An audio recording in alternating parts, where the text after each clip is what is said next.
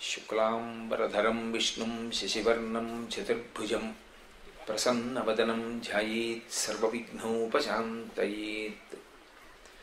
गुरुर्ब्रह्मा गुरुर्विष्णुः गुरुर्देवो महेश्वरः।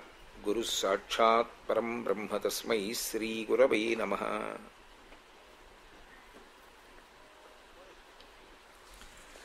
व्यासाय विष्णुरूपाय व्यासरूपाय विष्णवे नमो वै ब्रह्मनिधयै वासिष्ठाय नमो नमः। कूजन्तम् राम रामीति मधुरम् मधुराक्षरम् आरुह्य कविताशाखाम् वन्दे वाल्मीकिकोकिलम्। श्रुतिस्मृतिपुराणानाम् आलयम् करुणालयम् नमामि भगवत्पादशङ्करम् लोकशङ्करम्। వాగర్ధావివ సంపృక్తౌ జగత పితరౌ వందే పార్వతీ పరమేశ్వరౌ. సూక్తిం సమగ్రయతున స్వయమేవ లక్ష్మీ శ్రీరంగరాజమహిషీ మధురై కటాక్షై. వైదగ్ధ్యవర్ణగుణగుంభనగౌరవైర్యాం కండూలకర్ణకుహరాः కవయోధయంతి. హైమోర్ధ్వపుండ్రమజహన్మకుటం సునాసం మందస్మితం మకరకుండలచారుగండం బింబాధరం బహుళదీర్ఘకృపాకటాక్షం శ్రీవేంకటేశముఖమాత్మని సన్నిధత్తాం విమలపటి కమలకుటి పుస్తకరుద్రాక్షస్యస్తహస్తపుటి కామాక్షి పక్ష్మలాక్షి కలిత విపంచి విభాసి వైరించి మనోజపం మరుతతుల్యవేగం జితేంద్రియం బుద్ధిమతాం వరిష్టం పాతాత్మజం వనరయూధముఖ్యం శ్రీరామదూతం శిరసా నమామి.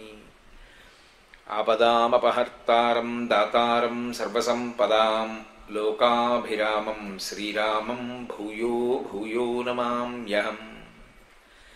హరి ఓ.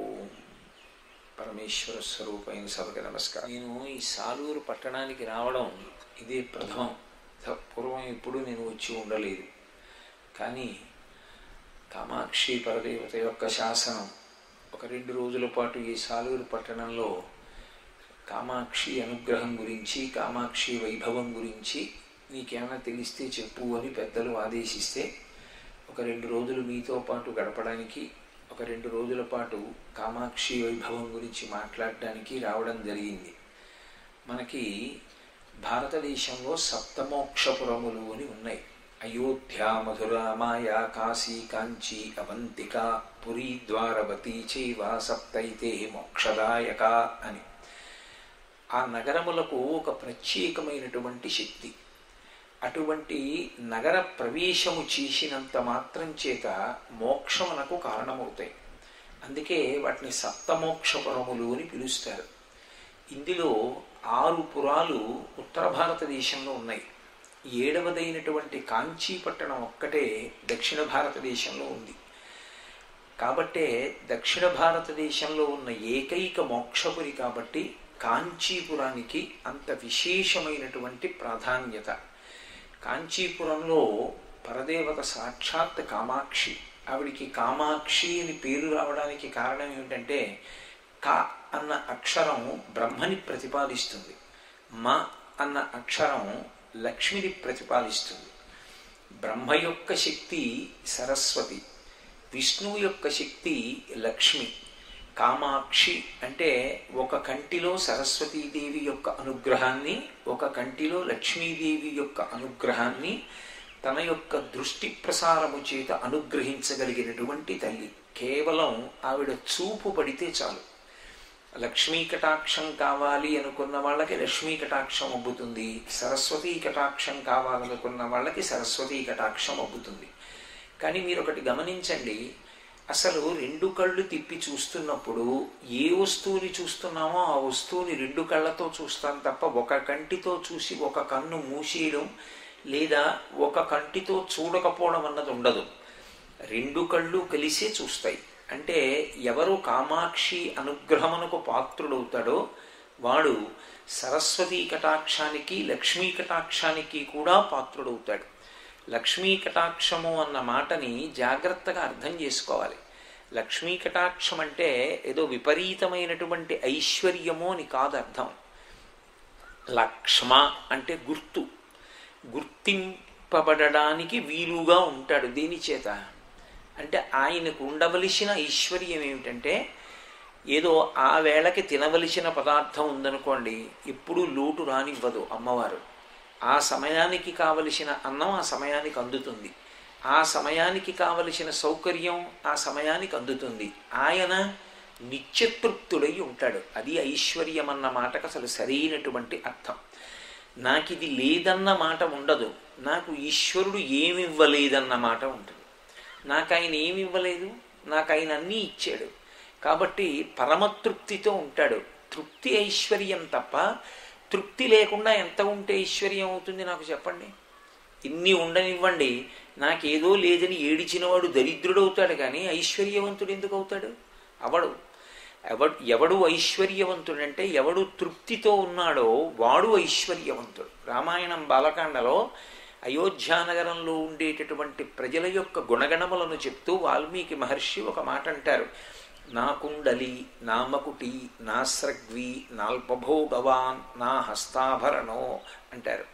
అంటే అక్కడ ఎవరూ కూడా స్వల్పమైనటువంటి భోగము ఉన్నవాళ్ళు లేరు. నా కుండలి నా మకుటి నా స్రగ్వి నాల్పభోగవాన్. అల్పభోగమున్నవాడు లేడంటే? అందరూ ఒకేలా భోగం అనుభవిస్తారు. అది సాధ్యమా? ఇప్పుడు మీ ఊరే ఉంది. మీ ఊళ్ళో అందరూ ఒకే రకంగా సుఖపడుతున్నారు. అని నేను అన్నాను అనుకోండి అది సత్యదూరం. ఎందుకంటే ఒకరు మేడలో ఉంటారు ఒకరు పెంకుటింట్లో ఉంటారు ఒకరు పాకలో ఉంటారు ఒకరి దగ్గర కోటి రూపాయలు ఉంటాయి ఒకరి దగ్గర లక్ష రూపాయలు ఉంటాయి ఒకరి దగ్గర రెక్కాడితే కానీ డొక్కాడని స్థితి ఉంటుంది. మరి అందరూ ఒకలా భోగం ఎలా అనుభవిస్తారు? ఒకలా ఉండదుగా సుఖం? సుఖంలో తారతమ్యం ఉంటుందిగా? మరి అటువంటప్పుడు నాల్పభోగవాన్ అన్న మాట ఎలా అన్వయం అవుతుంది? మహర్షి ఎలా ప్రయోగించారు ఆ శబ్దాన్ని? అంటే మహర్షి మహాపురుషుడు ఆయన ఎక్కడా దోషభూయిష్టంగా ఆయన మాట్లాడరు. అన్వయం జాగ్రత్తగా చేసుకోవాలి. తృప్తి లేని వాళ్ళు లేరు. ఎవరికి ఏదుందో దానితో వాళ్ళు తృప్తిగా ఉంటారు. అప్పుడు అందరి భోగం ఒకటే. కోటి రూపాయలు ఉన్నవాడు ఏ తృప్తితో ఉన్నాడో రెక్కాడితే కానీ డొక్కాడని వాడు కూడా అదే తృప్తితో ఉన్నాడు. ఇప్పుడు అందరిది అదే తృప్తి అయినప్పుడు అసలు వాళ్ళ యొక్క భోగంలో తేడా ఎలా వస్తుంది? రాదు. అందుకే నాల్పభోగవాన్ అంటే స ఒకే రకమైనటువంటి తృప్తిని కలిగి ఉండడం. లక్ష్మీ కటాక్షమునందు ప్రధానమైన లక్షణం ఏది అంటే తృప్తితో జీవనము చేయుట. ఎక్కడ తృప్తి ఉన్నదో అక్కడ శాంతి ఉంటుంది. ఎక్కడ శాంతి ఉన్నదో వాడు ఇతరుల యొక్క శాంతికి కారకుడవుతాడు. మనం ఏ పూజ చెయ్యండి ఏ క్రతువు చెయ్యండి చిట్ట చివర దానికి ఫలితం ఏం చెప్తామంటే ఓం శాంతి శాంతి శాంతి శాంతి కలగాలి అని కోరుకుంటాం. ఆ శాంతికి ప్రధానమైనది ఏది తృప్తి. ఆ తృప్తి లేని నాడు శాంతి ఉండదు. కాబట్టి అటువంటి తృప్తిని కలిగినటువంటి వాళ్ళు లక్ష్మి యొక్క అనుగ్రహమును పొందినటువంటి వాళ్ళు. కామాక్షి అనుగ్రహాన్ని పొందితే ఏమవుతుంది అంటే వెంపర్లాడడం పరిగెత్తడం అనేటటువంటివి ఉండవు జీవితంలో. ఉండకుండా పరమ ప్రశాంతంగా ఉంటాడు. రెండు అలా ప్రశాంతంగా ఉండడానికి కావలసినటువంటి అధ్యవసాయముతో కూడుకున్నటువంటి బుద్ధి లభించడానికి ప్రధానమైనటువంటి హేతువు ఆమె యొక్క చూపుల వలన కలిగినటువంటి సరస్వతీ కటాక్షము. సరస్వతీ కటాక్షము అన్న మాటకు అర్థం కేవలం ఏదో కొన్ని పద్యాలు కొన్ని శ్లోకాలు వచ్చినవాడు అని కాదు. సరస్వతీ కటాక్షమును కలిగిన వాడు అన్న మాటకి యథార్థమైన అర్థం ఏది అంటే భగవత్ సంబంధమైనటువంటి జ్ఞానమును పొందినవాడు అని. అందుకే సరస్వతీ కటాక్షం ఉన్నవాడిని ఏమంటారు? పండితుడు అంటారు పండాహ అన్న శబ్దంలోంచి వచ్చింది. పండాహ అంటే భక్తి తత్పరుడైనవాడు అని అర్థం. వాడు అన్నిటికీ పరమేశ్వరుడితో చెప్పుకుంటూ ఉంటాడు. కష్టం రానివ్వండి సుఖం రానివ్వండి దేనికి నేను కారణం అన్న మాట అనడు. సుఖం వచ్చింది అనుకోండి ఇది పరదేవత యొక్క అనుగ్రహం. సంతోషంగా ఉన్నాను. అమ్మ నీకు కృతజ్ఞతలు అంటాడు మరి కష్టం వస్తే? అమ్మ గతంలో ఏదో పాపం చేసి ఉన్నాను. ఆ పాపము యొక్క ఫలితము ఈ దుఃఖ రూపంలో వచ్చింది. అంటే ఇక్కడితో నీ చేసిన పాపం పోయింది. ఇంకొకసారి దుఃఖం రాకూడదంటే నేను ఇంకొకసారి పాపం చేయకూడదు. కాబట్టి నేను పాపం చెయ్యకుండా ఉండగలిగినటువంటి బుద్ధిని నాకు కటాక్షించమని అడుగుతాడు. పండాహ భక్తి కలిగిన వాడన్న మాటకు అర్థం అది. అంతేకాని ఎంత పదార్థం తీసుకొస్తాడు? ఎన్ని తులసి దళాలు తెస్తాడు? ఎన్ని తామర పూలు ఎట్టుకొస్తాడు ఎన్ని మారేడు దళాలు ఎట్టుకొస్తాడు ఎంత పూజ చేస్తుంటాడు? అది కాదు భక్తికి. శంకర భగవత్పాదులు శివానంద లహరి చేస్తూ గభీరే కాసారే విశతి విజనే ఘోర విపినే విశాలే శైలీ చ భ్రమతి కుసుమార్థం జడమతి.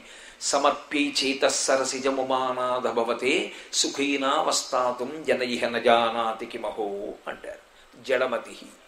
వీడికి చెప్తే అర్థం కానటువంటి బుద్ధి ఉన్నవాడు ఎవరు తిరగమన్నారు? ఎవరు కొండల దగ్గరికి వెళ్ళమన్నారు? ఎవరు చెట్లు ఎక్కమన్నారు? ఎవరు సరోవరాల దగ్గరికి వెళ్ళమన్నారు? మొదట్లో పూజ చేయడం మంచిదే కానీ బతికున్నంత కాలం అదే కాదు.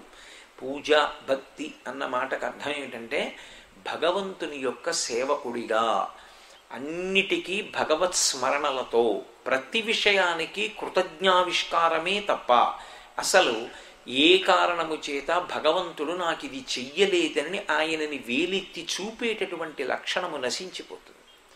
అవమానం రానివ్వండి కొట్టనివ్వండి తిట్టనివ్వండి పల్లకీలో మొయ్యనివ్వండి పొగడనివ్వండి హారతులు ఇవ్వనివ్వండి చాలా గొప్పవాడనివ్వండి ఈశ్వర ఇవన్నీ నీ అనుగ్రహాలే. తప్ప నాకు ఒక దాంట్లో గొప్ప లేదు ఓ దాంట్లో తక్కువ లేదు అన్నీ సమానమే అంటాడు. దూర్జటి కాళహస్తీశ్వర శతకం చేస్తూ లోకుల్లంగని మెచ్చని అలుగని లోలోన నిందించని చీకాకున్బడని మహాత్ముడనని జీలొగ్గని మూకీభావమునం తిట్టని త్రోయని నీ కారుణ్యము కలిగి ఉండినను అంతే చాలునో శంకర అంటాడు. నన్ను లోకుల్నంగని మెచ్చని లోకులు నన్ను గని అబ్బా చాలా గొప్పవాడండి అనని అలుగని నన్ను చూసి అలక పొంది కోపం వచ్చి పక్కకి పోని అలుగని లోలోన నిందించని పైకి తిట్టకపోయినా లోపల తిట్టుకొని చీకాకున్బడని నన్ను చూసి చికాకు పడిని రెండు చేతులు ఎత్తి నమస్కారం చేయని లేదా నన్ను పొగడని ఏం చేసినా కూడా అవి నాకు ఈశ్వర నీవిచ్చినటువంటి భూషణములు నువ్వు ఇచ్చినటువంటి సత్కారములు. తప్ప నాకు మాత్రం నీ పాదముల ఎందు భక్తి అలాగే నిలబడేటట్టుగా నన్ను అనుగ్రహించు అంటాడు. అలా పండగలిగినటువంటి జ్ఞానమును పొందడం భక్తి. ఆ భక్తి సరస్వతీదేవి యొక్క అనుగ్రహం. అందుకే శంకర భగవత్పాదులకి సరస్వతీదేవి యొక్క కటాక్షం అంటే విశేషమైనటువంటి ప్రీతి. వారు జ్ఞాన మార్గావలంబకులు కదూ. అందుచేత ఎప్పుడూ కూడా ఆయన సరస్వతి అన్న పేరుని విశేషంగా ఇష్టపడతారు. వారు సన్యాస వ్యవస్థనంతటినీ కూడా మళ్ళీ చక్కగా ఒక వ్యవస్థీకృతం చేశారు. చేసినప్పుడు దశనామి సన్యాసి వ్యవస్థ అని ప్రవేశపెట్టారు. ప్రవేశపెట్టినప్పుడు అందులో ఆయన ఎక్కువ సన్యాసులకి ఇచ్చిన పేరు సరస్వతి సంబంధమే. అందుకే సరస్వతి ఇంద్ర సరస్వతి భారతి శారద ఇవన్నీ వారు శృంగగిరిలో పెట్టినటువంటి పీఠానికి కూడా పేరు శారదాపీఠం శారదా మఠం అటువంటి శారదాపీఠం అని ఎందుకు పెట్టారంటే శారద అంటే కేవలము చదువులు ఇచ్చేది అని అనుకోకూడదు. కేవలం పుస్తక జ్ఞానం ఇచ్చేది కాదు ఆవిడ. శారద సారద. సారద అంటే లోకమునందు సారమైనటువంటి విషయము బ్రహ్మజ్ఞానం ఒక్కటే బ్రహ్మజ్ఞానమై ఆ సారమును ద ఇవ్వగలిగినటువంటి తల్లి ఎవరో ఆవిడే శారద. అందుకే శంకరులు జ్ఞానైక నిష్ఠులు కనుక వారికి శారదాస్వరూపం అంటే అంత ప్రీతి. అందుకే మీరు చూడండి శారద ఎక్కడ కూర్చున్నా కూడా కుడి చేత్తో పట్టుకోదు పుస్తకాలు. ఎడం చేత్తో పుస్తకాలు పట్టుకుంటుంది. కుడి చేత్తో జపమాల పట్టుకుంటుంది. ఏదైనా సరే ఎడం చేతి వైపు పట్టుకున్నాను అనుకోండి ఎడంచేతి వైపు పట్టుకుంటే అది తక్కువ అని గుర్తు. ఎవరినైనా ఉపన్యాసానికి పిలిచారనుకోండి ఉపన్యాసానికి వచ్చినటువంటి వ్యక్తి ఎక్కడ కూర్చుంటారో అక్కడికి ఆయనకి ఎడం వైపుకి వచ్చేటట్టుగా భగవంతుడి మూర్తి పెట్టకూడదు. ఎందుకు పెట్టకూడదు? అంటే అలా పెడితే నీకన్నా భగవంతుడు తక్కువ అని సూచించినట్టు అవుతుంది. ఆయన ఎడం వైపుకు భగవన్మూర్తి నుంచి ప్రసంగం చేయకూడదు.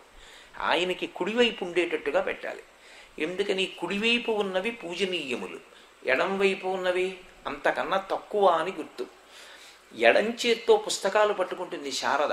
అంటే పుస్తకాలు చదువుకుంటే వచ్చేటటువంటి జ్ఞానం తక్కువ. దేని చేత అసలు ఆత్మ సిద్ధి కలుగుతుంది? అంటే జపమాల పట్టుకుంటుంది.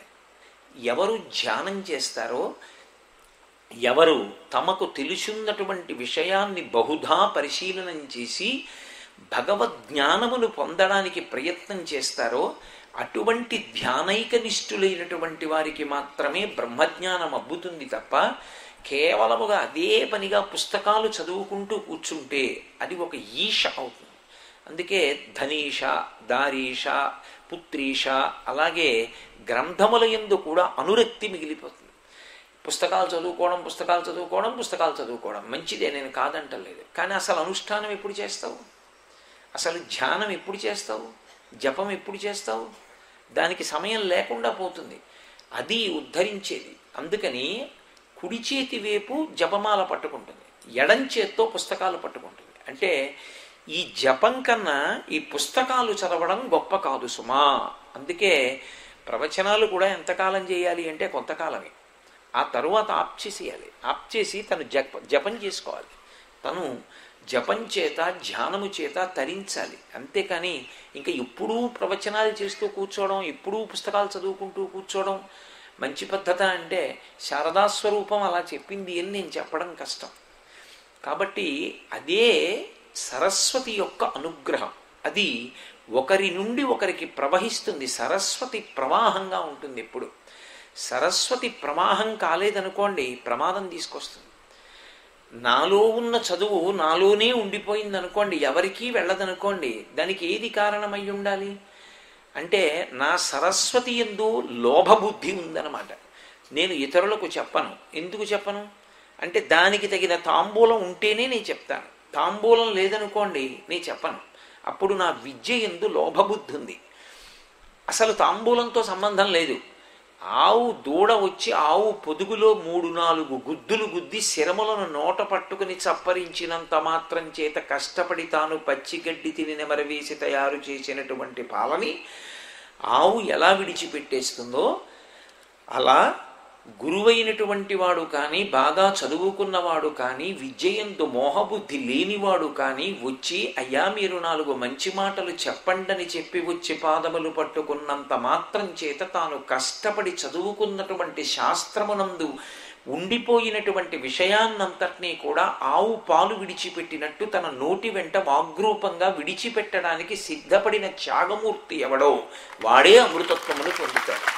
అందుకే త్యాగేనైకే అమృతత్వమానసు అంటుంది శాస్త్రం. త్యాగము చేత అమృతత్వాన్ని పొందుతాడు తప్ప స్వార్థము చేత అమృతత్వం ఉండదు దాచుకోవడం చేత అమృతత్వం ఉండదు అసలు కామాక్షి అన్న శబ్దంలో ఆమె లక్ష్మీ కటాక్షాన్ని సరస్వతీ కటాక్షాన్ని కూడా ఇస్తుంది అన్న మాటకి ప్రధానమైన అర్థం ఏమిటంటే లక్ష్మిని తన అభ్యున్నతి కొరకు ఎలా ఉపయోగించుకోవాలన్న విషయము తెలుసుకోవడానికి సరస్వతీ కటాక్షం ఉండాలి. సరస్వతీ కటాక్షం లేకపోతే ఏమవుతుందంటే లక్ష్మి విషయంలో దాచుకోవాలన్న బుద్ధి ఒక్కటే కలుగుతుంది. ఇదంతా నాకు ఉండిపోవాలి. అందుకని ఏం చేస్తాను? దాచుకుంటాను. కానీ దాచుకున్నదేదో అది ఎప్పటికీ నీది కాదు. ఎంతో దాచాడు. కానీ ఏదో ఒకనాడు ఊపిరి ఆగిపోవాలి కదా? ఎంత కాలం ఉండనివ్వండి భూమి మీద. మహా అయితే వందేళ్ళు ఉంటాడు శతమానం భవతి శతాయు పురుష సతీంద్రియాయుష్ దేవీంద్రియే ప్రతిష్టతి నూరు సంవత్సరముల తర్వాత అయినా శరీరం విడిచిపెట్టాలిగా? విడిచిపెట్టేశాడు అనుకోండి అప్పుడు ఆ డబ్బు ఎవరికి ఎడుతుంది? పిల్లలకి ఎడుతుంది. ఇప్పుడు తనది ఎలా అయింది? అవలేదు. కానీ తనదిగా ఎప్పుడవుతుంది? దానం చేశాడనుకోండి తనదవుతుంది పుణ్యంగా మారి తనతో వస్తుంది. తనతో ఎప్పుడు వస్తుందంటే డబ్బు డబ్బుగా రాదు పుణ్యంగా వస్తుంది. తన దగ్గరున్న డబ్బుని భగవంతుడి కొరకు పుణ్యకార్యముల కొరకు ఇష్టాపూర్తముల కొరకు ఖర్చు పెట్టాడనుకోండి ఇష్టాపూర్తములంటే ఇష్టి అంటే హోమాది ప్రక్రియలు. యజ్ఞయాగాది క్రతువుల కోసం ఖర్చు పెట్టిన పూర్తం అంటే పది మందికి పనికొచ్చే పనులు. ఒక చెరువు తవ్వించడం ఒక దేవాలయం కట్టడం ఒక నుయ్యి తవ్వించడం పది మందికి అన్నం పెట్టడం వంద మందికి చదువు చెప్పించడం ఇలాంటి పనులు చేశాడనుకోండి ఈ డబ్బు పుణ్యంగా మారి పుణ్యం జీవుడి ఖాతాలో పడి జీవుడితో పాటు వస్తుంది. ఇప్పుడు డబ్బు తనది ఎప్పుడవుతుంది? దానం చేస్తే. నా బలం నాకు పనికొచ్చేది ఎప్పుడవుతుంది? నేను ఒకసారి ఈశ్వరుడి పల్లకీ పట్టుకుని మోస్తే నేను దేవాలయానికి వెళ్ళి తుడిస్తే నేను భగవన్మూర్తులకు కట్టి విప్పిన బట్టలు ఉతికి మళ్ళీ పట్టుకెళ్ళి ఇస్తే నేను ఓ పూల తోటలో ఉన్న పువ్వులు కోసి దండ కట్టి శారదకి వేయమని అర్పణం చేస్తే నా ఒంట్లో ఉన్న బలాన్ని నేను భగవంతుని యొక్క సేవ కొరకు వాడాననుకోండి అప్పుడు అది పుణ్యంగా నాదవుతుంది. నా బలాన్ని నేను ఎందుకు ఉపయోగించాలి అవతల వాడికి అని పెట్టు కూర్చున్నాను అనుకోండి అది ఉండదు అది ఆవిరైపోతుంది. కొంతకాలం అయిపోయిన తర్వాత కాలమునందు వయస్సు వయస్సుతో పాటు బలము కరిగిపోతాయి. అందుకే శంకర భగవత్పాదులు మోహముద్గరం చేస్తూ ఓ మాట అంటారు. ఎంతకాలం చుట్టూ పరివారం ఉంటారు? కేవలం ఐశ్వర్యం ఉన్నంత కాలమే ఉంటారు. యవ్వనం ఎంతకాలం ఉంటుంది? కామం ఎంతకాలం ఉంటుంది? అంటే వృద్ధాప్యం వచ్చేవరకే ఉంటుంది. ఒకసారి శరీరం జర్జరీభూ భూతం అయిపోయింది అనుకోండి ఇక కామం ఉండదు ఇక బలం లేదు. అందుకే కాతే కాంత కస్తే పుత్ర సంసారోయమతీవ విచిత్ర కస్యత్వం కుక్ కక్కుతయాయాత తత్వం చింతియత నియభ్రాత అంటారు। కాబట్టి అసలు ఉన్నదాన్ని ఎలా వాడుకోవాలి మనం? మనదిగా చేసుకుని ఆత్మోద్ధరణం పొందాలి అంటే అసలు ఏం చెయ్యాలి మనిషి? ఇది దేని వల్ల తెలుస్తుంది అంటే సరస్వతి కటాక్షము వలన తెలుస్తుంది। అంటే ఏమండి మేము చదువుకుని ఉండాలా? అని అడక్కండి। అది కాదు వినగలిగి ఉండాలి। చదవడం గొప్ప కాదు. చదివి అనుష్ఠానం లేకపోతే ఉపయోగమే ఉంది. వాడు చదువుకున్నాడు అన్నీ అన్నీ తెలుసు కానీ ఏదీ చేయడు. అది ప్రమాదహేతు అందుకే జ్ఞాన కలునిలోని శారదయువోలే అంటారు పోతన గారు. అన్నీ తెలిసి చేయకపోవడం ప్రమాదం. కానీ తనకి తెలియకపోయినా పెద్దలైన వారు వచ్చి ఏదైనా మాట చెప్పినప్పుడు ఓ నేను నా జీవితంలో ఇది ఇలా చేసుకోవట్లేదు. కాబట్టి ఈ క్షణంలోనే మార్పు చెంది నేను ఇంకొకలా చేస్తాను.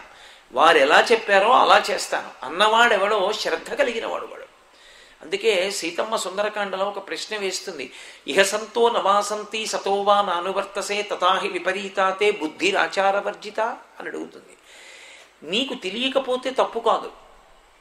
పెద్దలైన వారెవరు ఇక్కడ చెప్పేవాళ్ళు లేరా రావణా నీకు?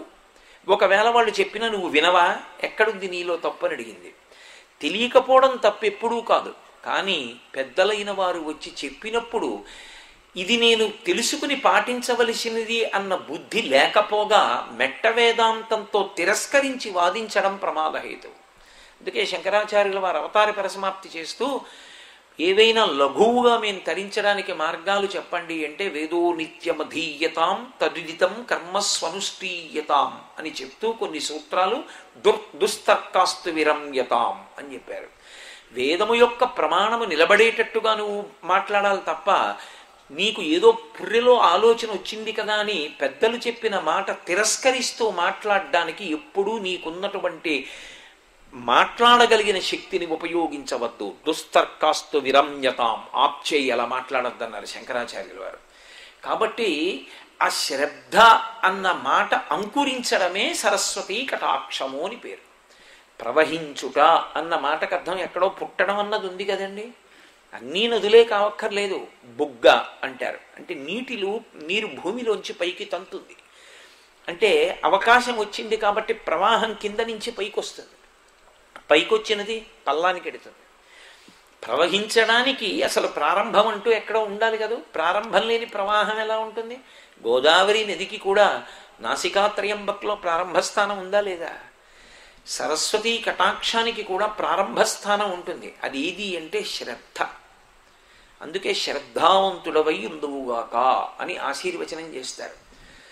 శ్రద్ధ అంటే శంకర భగవత్పాదులు వ్యాఖ్యానం చేశారు శ్రద్ధ అన్న మాట మీద. శాస్త్రస్య గురువాక్యస్య సత్యబుద్ధ్యావధారణ. సా శ్రద్ధ కవితా సిద్ధి యయా వస్తువుపలభ్యతే శ్రద్ధ అన్న మాటకు అర్థం ఏంటంటే నీకు తెలియకపోవడం నువ్వు చదువుకోకపోవడం ఇప్పుడూ తప్పు కాదు. స్థాయి భేదం ఉంటుంది.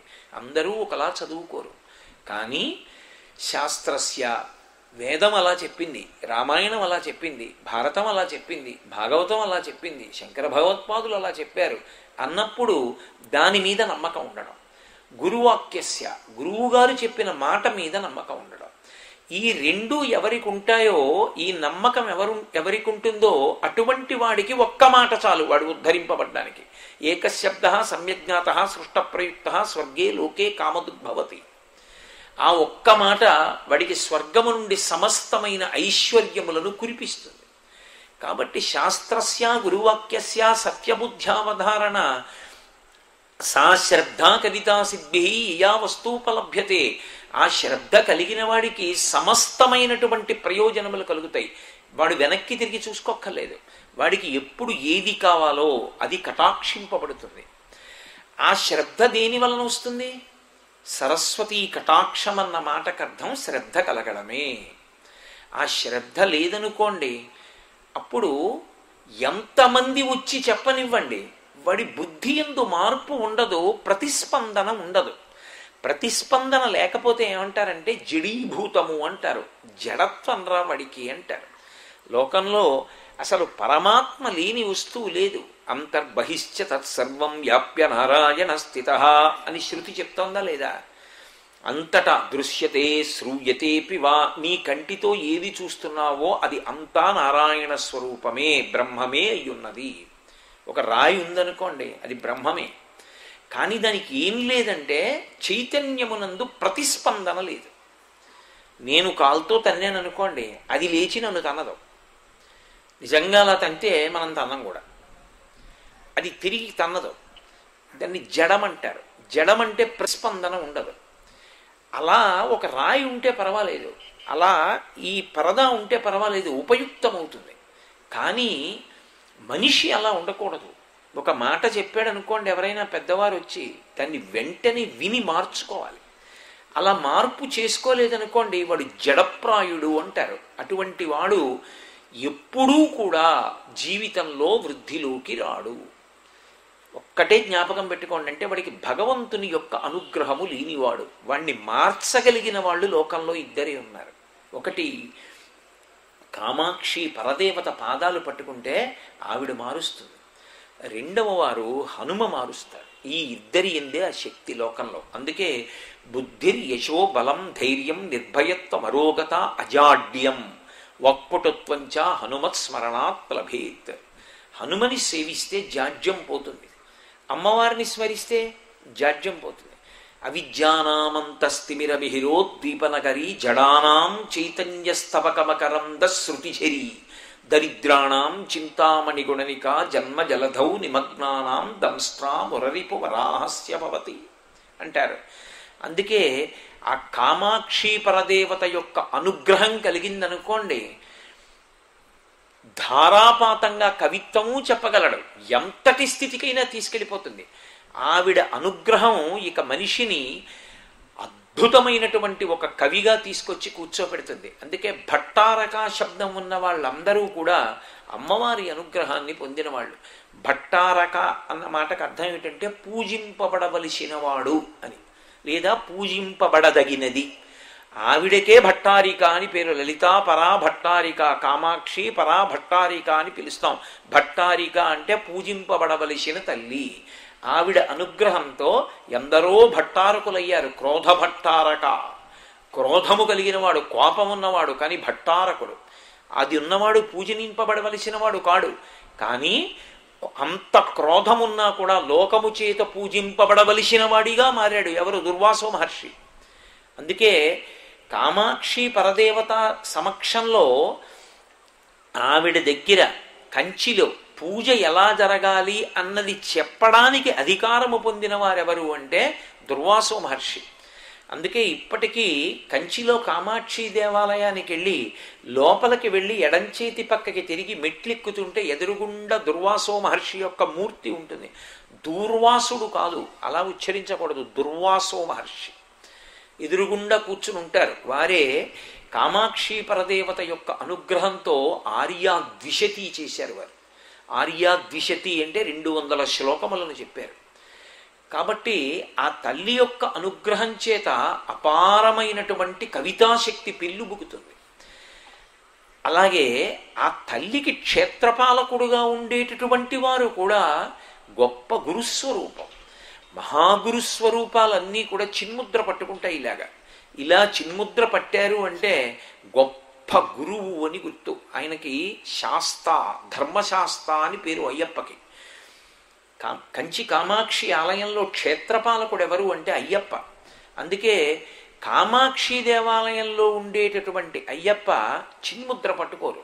క్షేత్రపాలకుడు కనుక చేతిలో కొరడా పట్టుకుంటారు.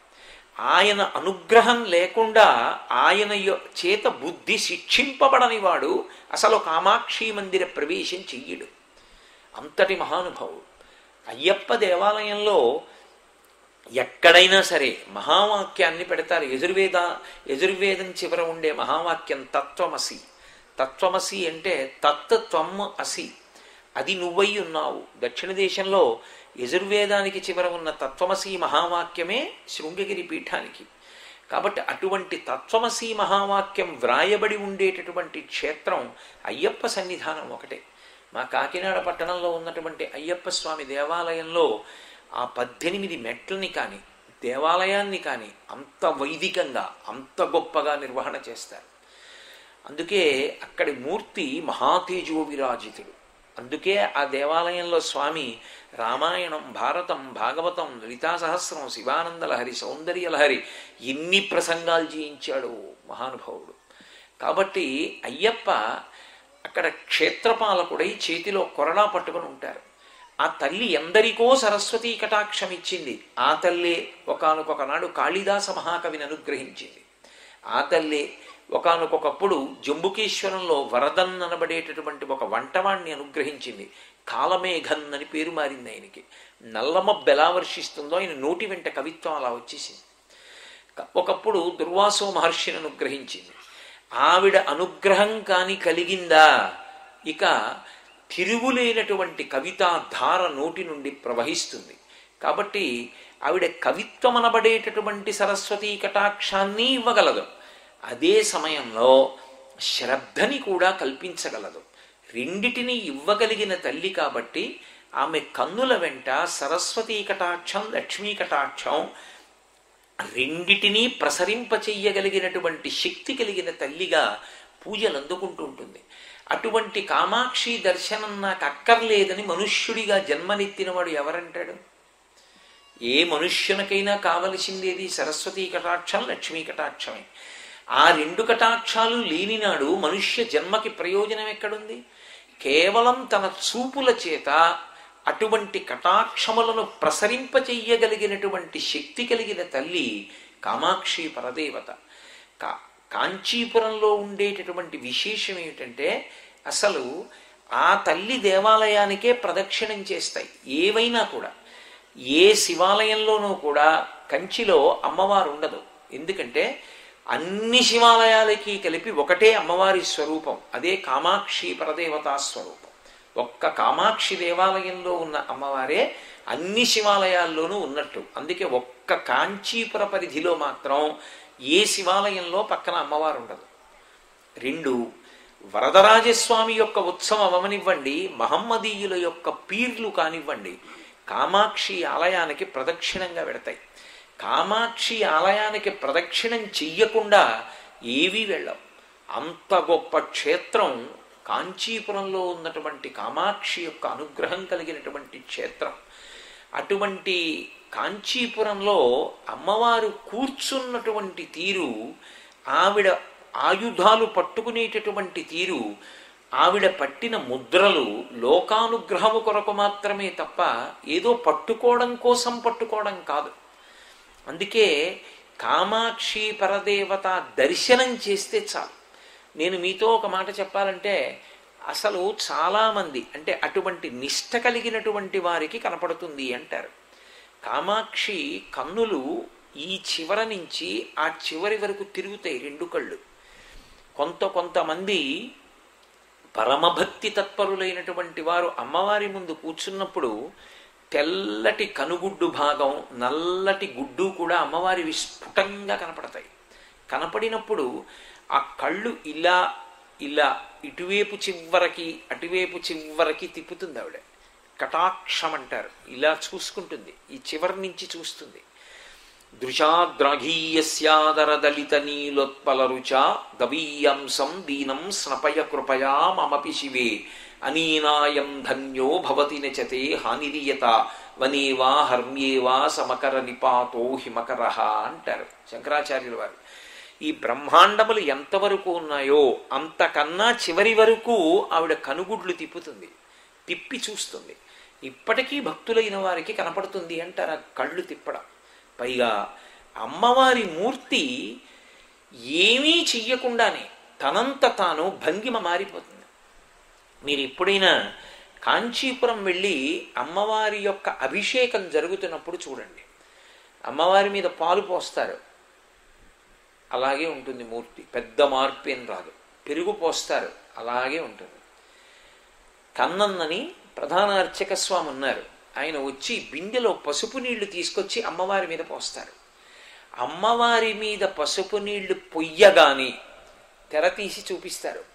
పక్క పక్క పక్క పక్క నవ్వుతున్నట్టు ఇక్కడి నుంచి ఇక్కడి వరకు పసిపిల్లాడు చెప్తాడు. ఇందాకటి మూర్తికి ఇప్పటి మూర్తికి తేడా ఏమిటి అంటే అమ్మవారు పకపక నవ్వుతోంది అని చెప్తారు. పసుపు నీళ్ళు మీద పోయిగానే అంత నవ్వు కనపడుతుంది ఆవిడ ముఖంలో. అంత ప్రసన్నురాలవుతుంది. ఆ తల్లి ఎందరినో అనుగ్రహించింది. ఆవిడ ఏదో విగ్రహంలా కూర్చోవడం కాదు. మహాస్వామి వారు కంచికామకోటి పీఠాధిపత్యం వహించినటువంటి మహాపురుషులు పురుషస్వరూపంలో ఈ లోకంలో తిరుగాడినటువంటి కామాక్షి పరదేవత పుంస్వరూపులు చంద్రశేఖరేంద్ర సరస్వతి మహాస్వామి వారు శరీరంతో ఉన్న రోజుల్లో కామాక్షి అమ్మవారి యొక్క అనుగ్రహం ఎలా ప్రకటనమవుతుందో లోకానికి అనేక పర్యాయములు నిరూపణం చేసి చూపించారు కాబట్టి అటువంటి తల్లి అటువంటి తల్లి ఎటువంటి అనుగ్రహాన్నైనా సరే వర్షిస్తుంది ఆవిడ. ఆ తల్లి ఆవిడ యొక్క వైభవం గురించి శంకరాచార్యుల వారు ఒక పరమాద్భుతమైనటువంటి శ్లోకం చేశారు. ఆ శ్లోకం ఎటువంటి శ్లోకం అంటే మీరు ఎక్కడ కూర్చోండి మీతో శంకరాచార్యుల వారు ధ్యానం చేయిస్తారు. ఆ శ్లోకం జరిగితే చాలు ధ్యానం చేస్తారు ఎవరైనా. అందులో ఎవరు ఏమిటి ఏం చెప్పరైనా చెప్పకుండా ఓ బొమ్మ గీస్తారు. బొమ్మ గీసి ఎవరివిడ అని అడుగుతారు. మీరు చెప్పాలి జవాబు. ఎవరిని పూజిస్తున్నారో ఎవరి గురించి చెప్తున్నారో ఆయన ఏం మాట్లాడరు. కొణత్కాంచీ దామాకరి కల్లభ కుంభస్తనత పరిక్షీణా మధ్యే పరిణత శరచంద్రవదన ధనుర్బాణం పాశం శృణిమపి దధానాకరతలై. పురస్తాదస్తాం నహ పురమధితురహో పురుషిక అని పిలిచారు. కామాక్షి పరదేవత మీదే చేశారు ఆ శ్లోకం. ఆవిడ గొప్పతనమే చెప్పారు అందులో. కొన కాంచీధామ అంటే కాంచి అంటే మొలనూలు చిరుగంటలతో కూడుకున్నటువంటి మొలనూలు ఏది ఉంటుందో ఆ మొలనూల్ని కాంచీదామ అని పిలుస్తారు. ఆవిడ తన మె మొల చుట్టూ కూడా చిరుగంటలతో కూడుకున్నటువంటి వడ్డాణాన్ని పెట్టుకుని ఉంటుంది. ఆవిడ కదిలి వెడుతోందనుకోండి వెళ్ళినప్పుడు కొన్ని మంగళధ్వనులు వినపడతాయి. ఏవి అంటే ఒకటి ఆవిడ పాద మంజీరముల యొక్క చప్పుడు వినపడుతుంది. ఎవరికి వినపడుతుంది అంటే ఆ యోగ్యత కలిగినటువంటి వారు పరమభక్తి తత్పరులైనటువంటి వారు ధ్యానంలో కూర్చున్నప్పుడు అమ్మవారి పాద మంజీరముల సవ్వడి వినపడుతుంది. అలాగే ఆవిడ నడువుకి పెట్టుకున్నటువంటి వడ్డాణానికి ఉన్నటువంటి చిరుగంటల యొక్క సవ్వడి వినపడుతుంది. ఆవిడ చేతికి వేసుకున్నటువంటి గాజుల యొక్క శబ్దం వినపడుతుంది. ఆవిడ మెడలో వేసుకున్నటువంటి నగలు ఒకదానితో ఒకటి ఒరుసుకున్నటువంటి శబ్దం వినపడుతుంది. విశేషమైనటువంటి పరిమళం వస్తుంది. అమ్మవారు పూజ స్వీకరించిందని గుర్తేమిటంటే ఇప్పటికీ పరమభక్తి తత్పరులైనటువంటి వారి యొక్క పూజా మందిరాలు సువాసనలు వెదజల్లుతుంటాయి. ఎందుచేతో తెలుసా? వారి పూజలు అందుకోవడానికి స్వయంగా అమ్మవారు వచ్చి స్వీకరిస్తూ ఉంటుంది ఆ పూజని. అలా స్వీకరించినటువంటి కారణం చేత ఆమె వస్తే సువాసన వస్తుంది. ఎందుకని అంటే దునో తమ్నస్తులిత నస్తులిత దళితేందీవరవనం ఘన స్నిగ్ధశ్లక్షణం చికుర నికురంబం తవ శివే. యదీయం సౌరభ్యం సహజముపలబ్ధం సుమనసౌ. వసంతస్మిన్ మన్యేవలమధన వాటీ విటపినాం అంటారు. ఆ తల్లి యొక్క కురులకు సహజముగా సువాసన ఉంటుంది. అందుకే అమ్మవారు పూజ అందుకున్న ప్రదేశాలు పరమ సువాసనలతో ఉంటాయి. ఆ తల్లి కొణత్ కాంచీధామ పరమ భాగవతోత్తములైన వారు ధ్యానం చేస్తుంటే అమ్మవారు నడిచి వెడుతున్నప్పుడు ఆమె మొలకి పెట్టుకున్నటువంటి వడ్డాణమునకు ఉన్న చిరుగంటల యొక్క శబ్దములు వినపడతాయి. ఇప్పటికీ కాంచీపురంలో ఆ తల్లి తిరుగుతూనే ఉంటుంది. అమ్మవారు ఎక్కడ ఉన్నా అంతే. ఏ క్షేత్రంలోనైనా శ్రీశైలంలో భ్రమరాంబ ఇప్పటికీ తిరుగుతుంది. ఆవిడ పాద మంజీరముల శబ్దములు రాత్రుళ్ళు విన్నవాళ్ళు ఉన్నారు. అలాగే కామాక్షి ఇప్పటికీ కాంచీపురంలో తిరుగుతూ ఉంటుంది. దానికి ప్రబల సాక్ష్యం ఏమిటో తెలుసా? ఇద్దరు వ్యక్తులు అమ్మవారి యొక్క ముఖమంటపంలో కూర్చుని ఉన్నారు. ఒక ఆయన పుట్టుకతో మూగవాడు. ఒక ఆయన అమ్మవారి దర్శనాన్ని అపేక్షించి ధ్యానం చేస్తున్నాడు. ధ్యానం చేసుకున్న చేస్తుండగా గుడి తలుపులు అంతరాలయం తలుపులు మూసేశారు. వేళ అయిపోయింది ఆయన బయట ముఖమంటపంలో ఇద్దరు ధ్యానం చేస్తున్నారు. అమ్మవారు తాంబూల చర్వణం చేస్తుంది. ఎప్పుడూ తాంబూలం వేసుకుంటుంది అమ్మవారు. వేసుకుని నడిచి వెళ్ళిపోతుంది. వెళ్ళిపోతూ ఆగింది. వాళ్ళు ఇలా కూర్చున్నారు అనుకోండి అమ్మవారు ఇలా వెళ్ళిపోతూ ఆగింది. ఆగి తన దర్శనం చెయ్యాలని కోరుకుంటున్నటువంటి వ్యక్తి యొక్క భుజం తట్టింది. అతను కళ్ళు తెరిచాడు. ఆవిడ తన తాంబూలపు పిడచ తీసి నోరు తెరి పెడతానంది. ఆయన అన్నాడు చీ ఆడదాని ఎంగిది అన్నాడు. ఆవిడ నవ్వి పక్కన పుట్టుక చేత మూగవాడు ఒక ఆయన ఉన్నాడు. ఆయన కళ్ళు విప్పి అమ్మవారిని చూసి నోరు తెరిచాడు. ఆవిడ తాంబూలపు పిడచ ఆవిడ నవిలిన ముద్ద అతని నోట్లో పెట్టింది. ఆ తాంబూలపు పిడచ తగిలిందంతే అతని నోట్ నాలుకకి. కూర్చున్నవాడికి ఎదురుగుండా అమ్మవారి పాదాలు కనపడ్డాయి. అటు తిరిగి ఉంది కదూ? పాదాలు కనపడ్డాయి. గుక్క తిప్పుకోకుండా నూరు శ్లోకాలు చెప్పాడు పాదాల మీద. అదే పాదారవింద శతకమైంది. అమ్మవారు నూరు శ్లోకాలు విని చిన్న నవ్వు నవ్వింది. ఆ చిన్న నవ్వు మీద నూరు శ్లోకాలు చెప్పాడు. మందస్మిత శతకమైంది. అమ్మవారు అటు తిరిగింది కదూ? చాలా సంతోషంగా ఇలా చూసింది. కడగంటి చూపు. అమ్మవారి యొక్క కటాక్షం మీద నూరు శ్లోకాలు చెప్పాడు. కటాక్ష శతకమైంది. అమ్మవారిని స్తోత్రం చేశాడు నూరు శ్లోకాల్లో. స్థుతి శతకమైంది. అమ్మవారి పెద్దరికాన్ని వర్ణించాడు నూరు శ్లోకాల్లో. ఆర్యాశతకమైంది ఐదు వందల శ్లోకాలు కలిపి మూక పంచశతి.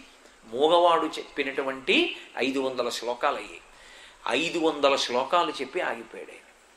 ఆగిపోతే అమ్మవారంది నేనిచ్చిన అనుగ్రహంతో ఐదు వందల శ్లోకాలు చెప్పావు నీకేం కావాలని అడిగాడు. ఆయన అన్నాడు నాకు వాక్కు తీసేసేయమన్నాడు. ఏమిందుకంది నాకు పుట్టుకతో వాక్కు లేదు. నువ్విచ్చిన వాక్కుతో నిన్ను ఐదు వందల శ్లోకాల్లో పొగిడాను. మళ్ళీ వాక్ ఇస్తే ఏదో పనికి మాలిన మాట మాట్లాడతాను. అందుకే నాకు వాక్కొద్దు తీసేయమంది ఆయన వాక్కు తీసేసింది అమ్మవారు. ఆయన గోదావరి తీరంలోనే సిద్ధి పొందారు. కంచి కామకోటి పీఠానికి ఆయన కూడా ఒక పీఠాధిపతి అయ్యారు. కాబట్టి ఆ తల్లి ఇప్పటికీ కాంచీపురంలో కామాక్షి తిరుగుతూ ఉంటుంది.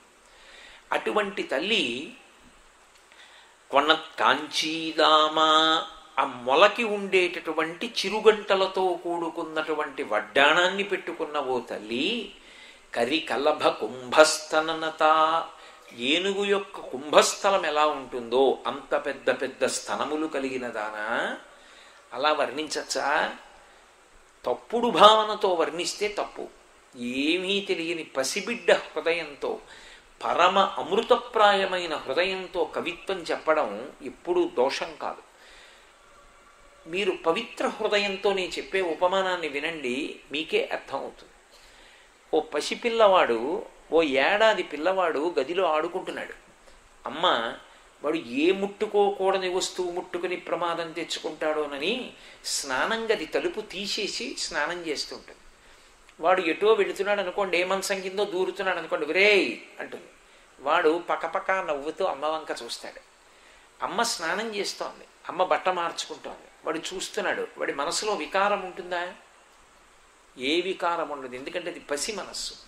అమృతం లాంటి మనస్సు. స్తోత్రం చేస్తున్నటువంటి కవి కూడా అమ్మవారి ముందు ఒక పసిబిడ్డడలా నిలబడి చేసిన స్తోత్రం శంకర భగవత్పాదుడు. పైగా అమ్మవారి స్థనములను ఎందుకు వర్ణిస్తారంటే అవి మాతృకా చిహ్నములు మా అమ్మ స్థనముల నుండి స్రవించిన పాలు తాగి కదూ నేను ఇంత వాణ్ణయ్యాను? ఆవిడ పాలు ఇవ్వకపోతే ఈ శరీరం ఎక్కడ బతుకుతుంది?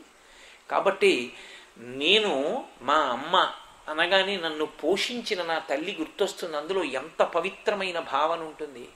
సూర్య చంద్రులిద్దరూ కూడా ఆవిడ స్తనములు. సూర్యచంద్రుల్ని స్తనములుగా పెట్టుకుని లోకములను పోషిస్తున్నటువంటి ఓ తల్లి మీకు నమస్కారం. ఇప్పుడు అందులో ఏం దోషం ఉంది? కాబట్టి కరికలభ కుంభస్తననత పరిక్షీణా మధ్యే ఆవిడ యొక్క నడుం బహుసన్నగా ఉంది. ఉందా లేదా అన్నట్టుగా ఉంటుంది. మీరు ఇప్పటికీ కామాక్షికి అభిషేకం జరుగుతున్నప్పుడు మీరు అమ్మవారి నడుము వంక చూస్తే అసలు అమ్మవారికి నడుము ఉందా లేదా అనిపిస్తుంది. అంత సన్నగా ఉంటుంది. అసలు ఆ మూర్తి అలా ఎలా కూర్చుంటుందో చాలా ఆశ్చర్యం. ఒకప్పుడు ఒక విశేషం జరిగింది. ఇప్పుడు కామకోటి పీఠాధిపతిగా ఉన్నటువంటి జయేంద్ర సరస్వతి స్వామి వారి యొక్క పరిపాలనలోనే కుంభాభిషేకం జరుగుతుండగా అమ్మవారి మూర్తిని కొద్దిగా ఎత్తారు ఇలాగా ఆవిడిని ఇలా కొద్దిగా కదిపితే అకస్మాత్తుగా కాంచీపురం అంతా మబ్బులు పట్టి వర్షం పడింది. ఆవిడ విగ్రహం అనుకోకండి సాక్షాత్ పరదేవత అలా కూర్చుంటుంది. ఓకే సన్నటి నడువుతో ఉంటుంది. పరీక్షీణా మధ్యే. ఎందుకు అలా నడువు అంత సన్నగా ఉండడం? అంటే సాముద్రిక శాస్త్రంలో ఒక లక్షణం చెప్తారు. ఏ స్త్రీ యొక్క నడుం బహుసన్నగా ఉంటుందో ఆమె పరమతేలికగా ఎక్కువ మంది సంతానాన్ని కంటుంది. నడుం స్థూలంగా ఉన్న స్త్రీ చాలా తేలికగా ఎక్కువ మంది సంతానాన్ని కలలేదు. ఆ తల్లి ఆ బ్రహ్మకీట జనని ఆవిడ సమస్తమైనటువంటి ప్రాణులకు తల్లి ఆవిడ. ఇంతమంది ప్రాణులకు తల్లి అయినటువంటి అమ్మవారి యొక్క నడుం సన్నగా ఉండకపోతే స్థూలంగా ఎందుకుంటుంది? అందుకే ఆవిడ యొక్క నడుం అంత సన్నగా ఉంటుంది. పరిక్షీణా మధ్యే పరిణత శరచంద్రవదన శరత్కాలంలో పరిణత చంద్రుడు అని పిలుస్తాం. మిగిలినటువంటి ఋతువులలో వచ్చేటటువంటి చంద్రబింబం కన్నా శరత్కాలంలో వచ్చేటటువంటి పూర్ణచంద్రబింబం అమృతాన్ని కురిపించేస్తుంటుంది వెన్నెల్ని. అందుకే విశేషమైనటువంటి వెన్నెల ఇచ్చేటటువంటి చంద్రబింబం ఒక్క శరత్కాలంలో వచ్చేటటువంటి పౌర్ణమి నాడు కనపడుతుంది కాబట్టి ఆ చంద్రబింబాన్ని పరిణత చంద్రుడు అని పిలుస్తారు. కార్తీక పౌర్ణమి నాడు కనపడతాడు. అటువంటి శరచంద్రవదన చంద్రుని వంటి చంద్రబింబము వంటి ముఖమున్నది. అది కాదు అసలు దాని అర్థం. అసలు ఇంకొక పెద్ద రహస్యం ఉంది. లోకంలో మూడే మూడు వస్తువులు ఉన్నాయి ఈ మూడు ఏం చేస్తాయంటే మీరు కష్టపడి మీ మనసు వాటి దగ్గర పెట్టక్కర్లేదు. అవే మీ మనసుని లాక్కుంటాయి. మన మనసుని నిలబెట్టడం అంత తేలికైన విషయం కాదు. మనసు చంచలమై కదిలిపోతుంటుంది. చంచలమై కదిలిపోతున్నటువంటి మనస్సు ఆబాలగోపాలమునకు కూడా పసిపిల్లల నుండి వృద్ధుల వరకు వాళ్ళ ప్రయత్నం లేకుండా మనసు నిలబడేటట్టుగా ఆకర్షించగలిగినటువంటివి మూడున్నాయి. అందులో మొట్టమొదటిది పూర్ణచంద్రబింబం పిల్లలకు అన్నం పెట్టాలన్నా కూడా చందమామరా అవే జాబిల్లిరా అవే అని చందమామని చూపిస్తారు. అందుకే ఆయన అందరికీ మామయ్యే అమ్మకి తమ్ముడు లేదా అమ్మకి అన్నయ్య. అంద మెనమామల ముద్దు మేలైన ముద్దు అని. ఆయన ఎప్పుడు ముద్దుగా చల్లగా చక్కగా ఉంటాడు కాబట్టి సుధాకిరణుడై చంద్రుణ్ణి మా మామయ్య మామయ్య అని మేనమామగా పోలుస్తారు. పిల్లనిచ్చిన మామగారు కాదు అమ్మగారి అన్నగారు లేక తమ్ముడు. కాబట్టి మేనమామగా చూపిస్తారు చంద్రబింబాన్ని. అటువంటి చంద్రబింబం చాలా గొప్పది. ఎంత గొప్పదంటే చంద్రుడు అనుగ్రహిస్తాడు. అనుగ్రహ స్వరూపం ఆయన ఎంత అనుగ్రహ స్వరూపం అంటే ఒకప్పుడు ఆ చంద్రశేఖరేంద్ర సరస్వతి మహాస్వామి వారు ఒక యజ్ఞం చేసి పూర్ణాహుతి చెయ్యాలి ఇంకా పూర్ణాహుతికి సిద్ధంగా ఉన్నారు.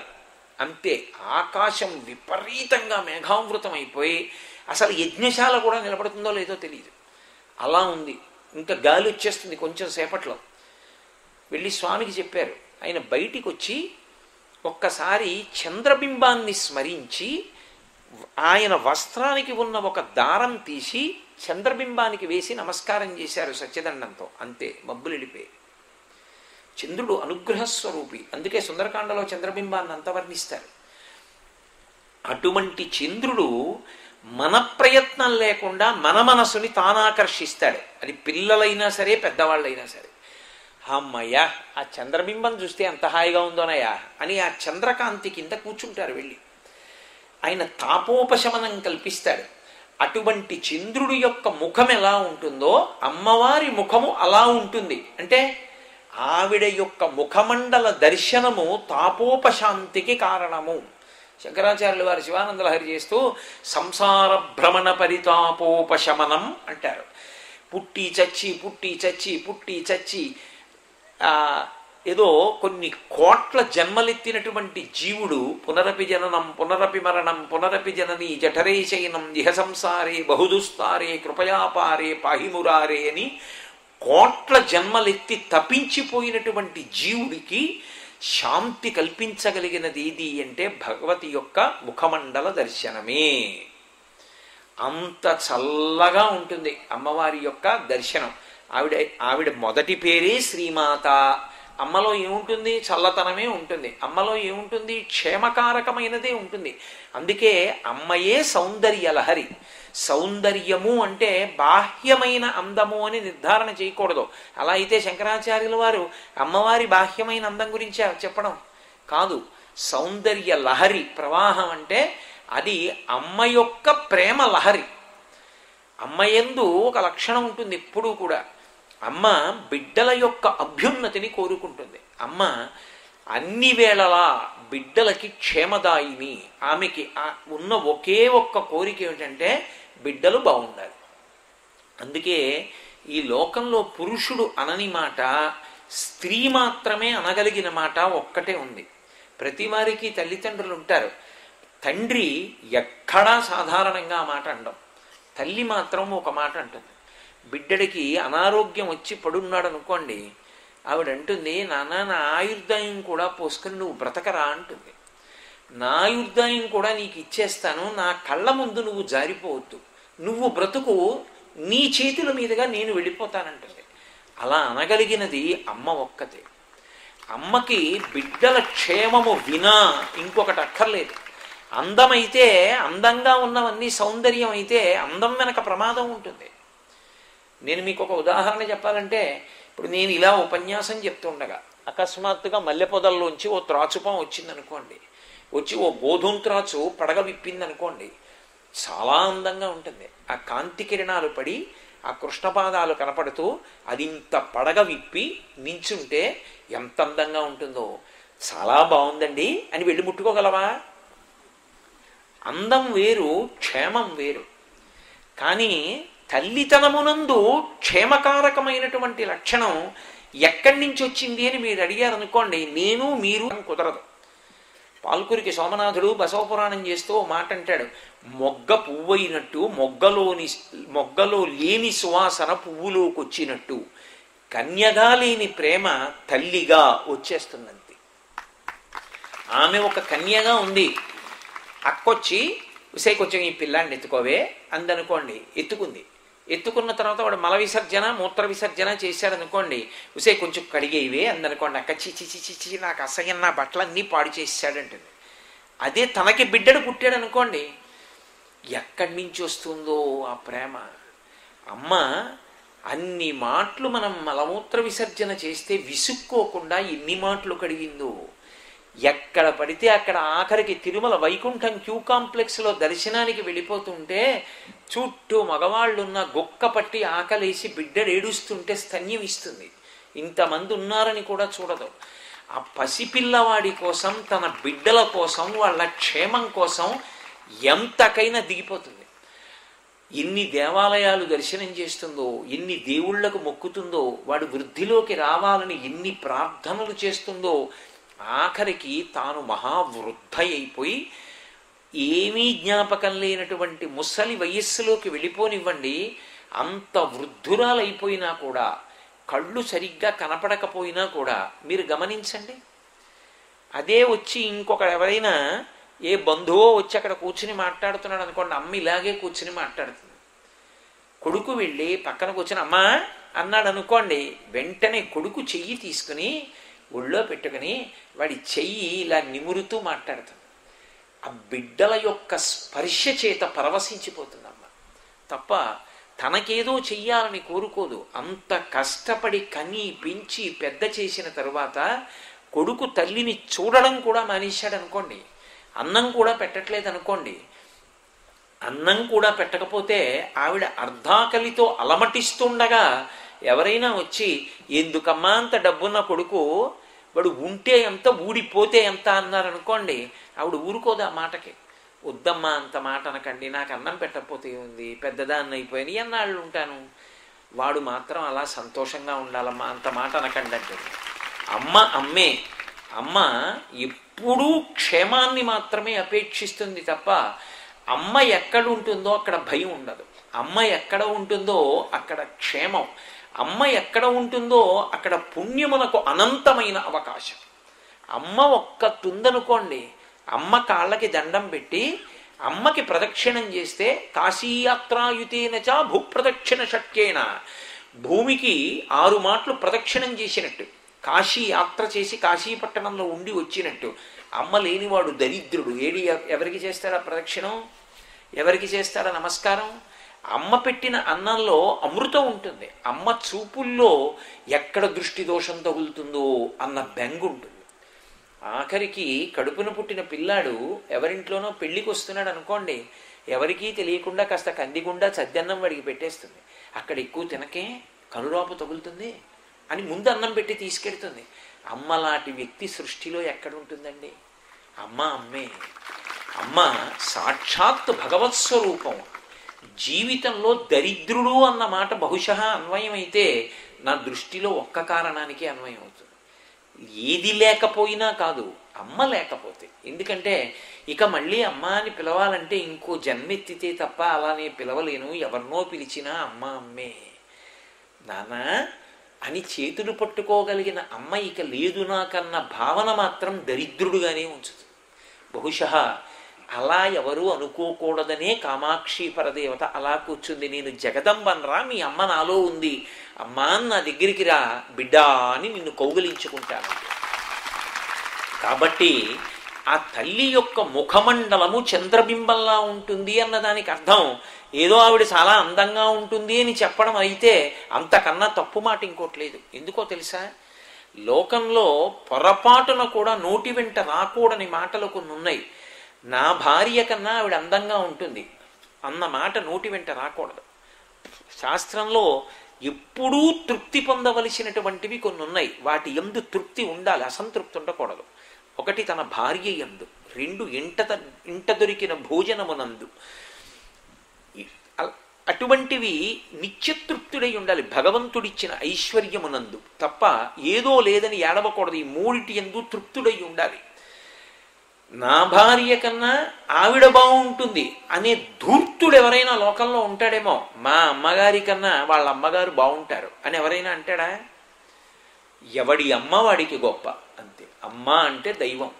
అందుకే అమ్మయే సౌందర్యం సౌందర్య లహరి.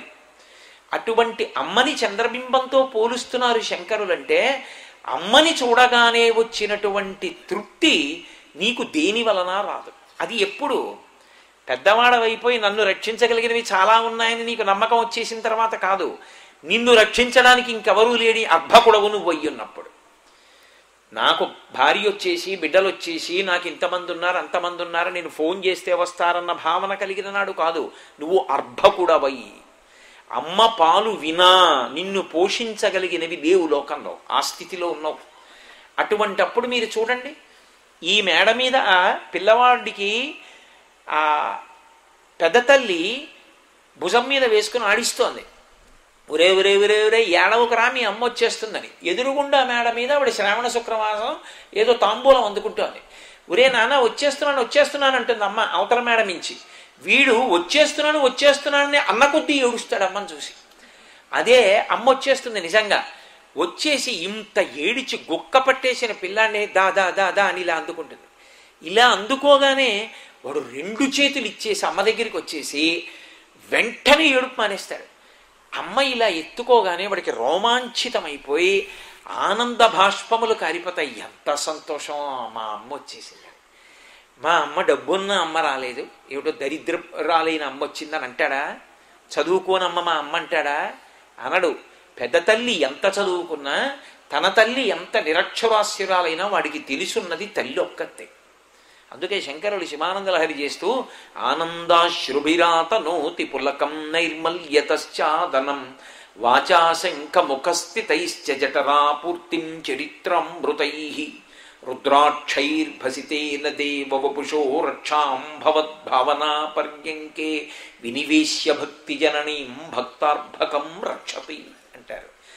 అమ్మ ఎత్తుకున్నప్పుడు ఆనంద భాష్పాలు కారి పులకలెత్తినట్టుగా భక్తి అన్న తల్లి ఒడిలో భక్తుడైన వాడు అలా ఆనందాన్ని పొందుతట ఇప్పుడు అమ్మ ముఖము చంద్రబింబంలా ఉంటుందంటే దాని అర్థం బాహ్యంలో ఆవిడ అందాన్ని పొగడడం కాదు.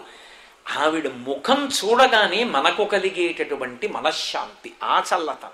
మనకి ఈ దేశాల్లో ఆశీర్వచనం ఏమిటంటే చల్లగా ఉండండి అంటారు. పశ్చిమ దేశాల్లో అయితే వేడిగా ఉండడానికి ప్రయత్నాలు చేస్తారు మనం చల్లగా ఉండండి మీరు నూరేళ్ళు చల్లగా ఉండాలంటారు. చల్లగా ఉండడం వృద్ధిలోకి రావడం. ఆ చల్లని తనం ఇవ్వగలిగినది ఎవరంటే కామాక్షి. ఆ చల్లతనం ఎక్కడి నుంచి ఎక్కడ వరకు పెడుతుందంటే ఇక్కడ పుట్టినప్పుడు అసలు ఆ జన్మ ప్రయోజనాన్ని అర్థం చేసుకోగలిగినటువంటి జ్ఞానం ఇవ్వగలిగినది కామాక్షియే.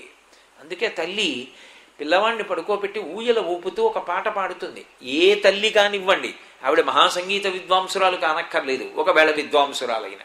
ఆవిడ పాడే పాట హాయి హోరి ఓరిపిచ్చాడా ఊయల ఇలా ఊపితే హాయి ఏమిటిరా పడుకుంటున్నావు అలా వెళ్ళి ఇలా వస్తే హాయా నీకు ఈ అలవాటు ఎక్కడొచ్చిందో తెలుసా ఇక్కడ పుట్ట అక్కడ చావా అక్కడ పుట్ట ఇక్కడ చావా అలవాటైపోయింది జన్మ పరంపర అందుకే ఊయలలో పెట్టి ఊపితే నీకు సంతోషంగా ఉంది ఈ హాయి హాయి కాదురా నిలకడగా ఉండడం హాయి మొదటి వేదాంతం చెప్తుంది. తర్వాత రోజు భగవత్ కథ చెప్పి ఓ మాట అంటుంది. కథ కంచికి మనం ఇంటికి అంటుంది.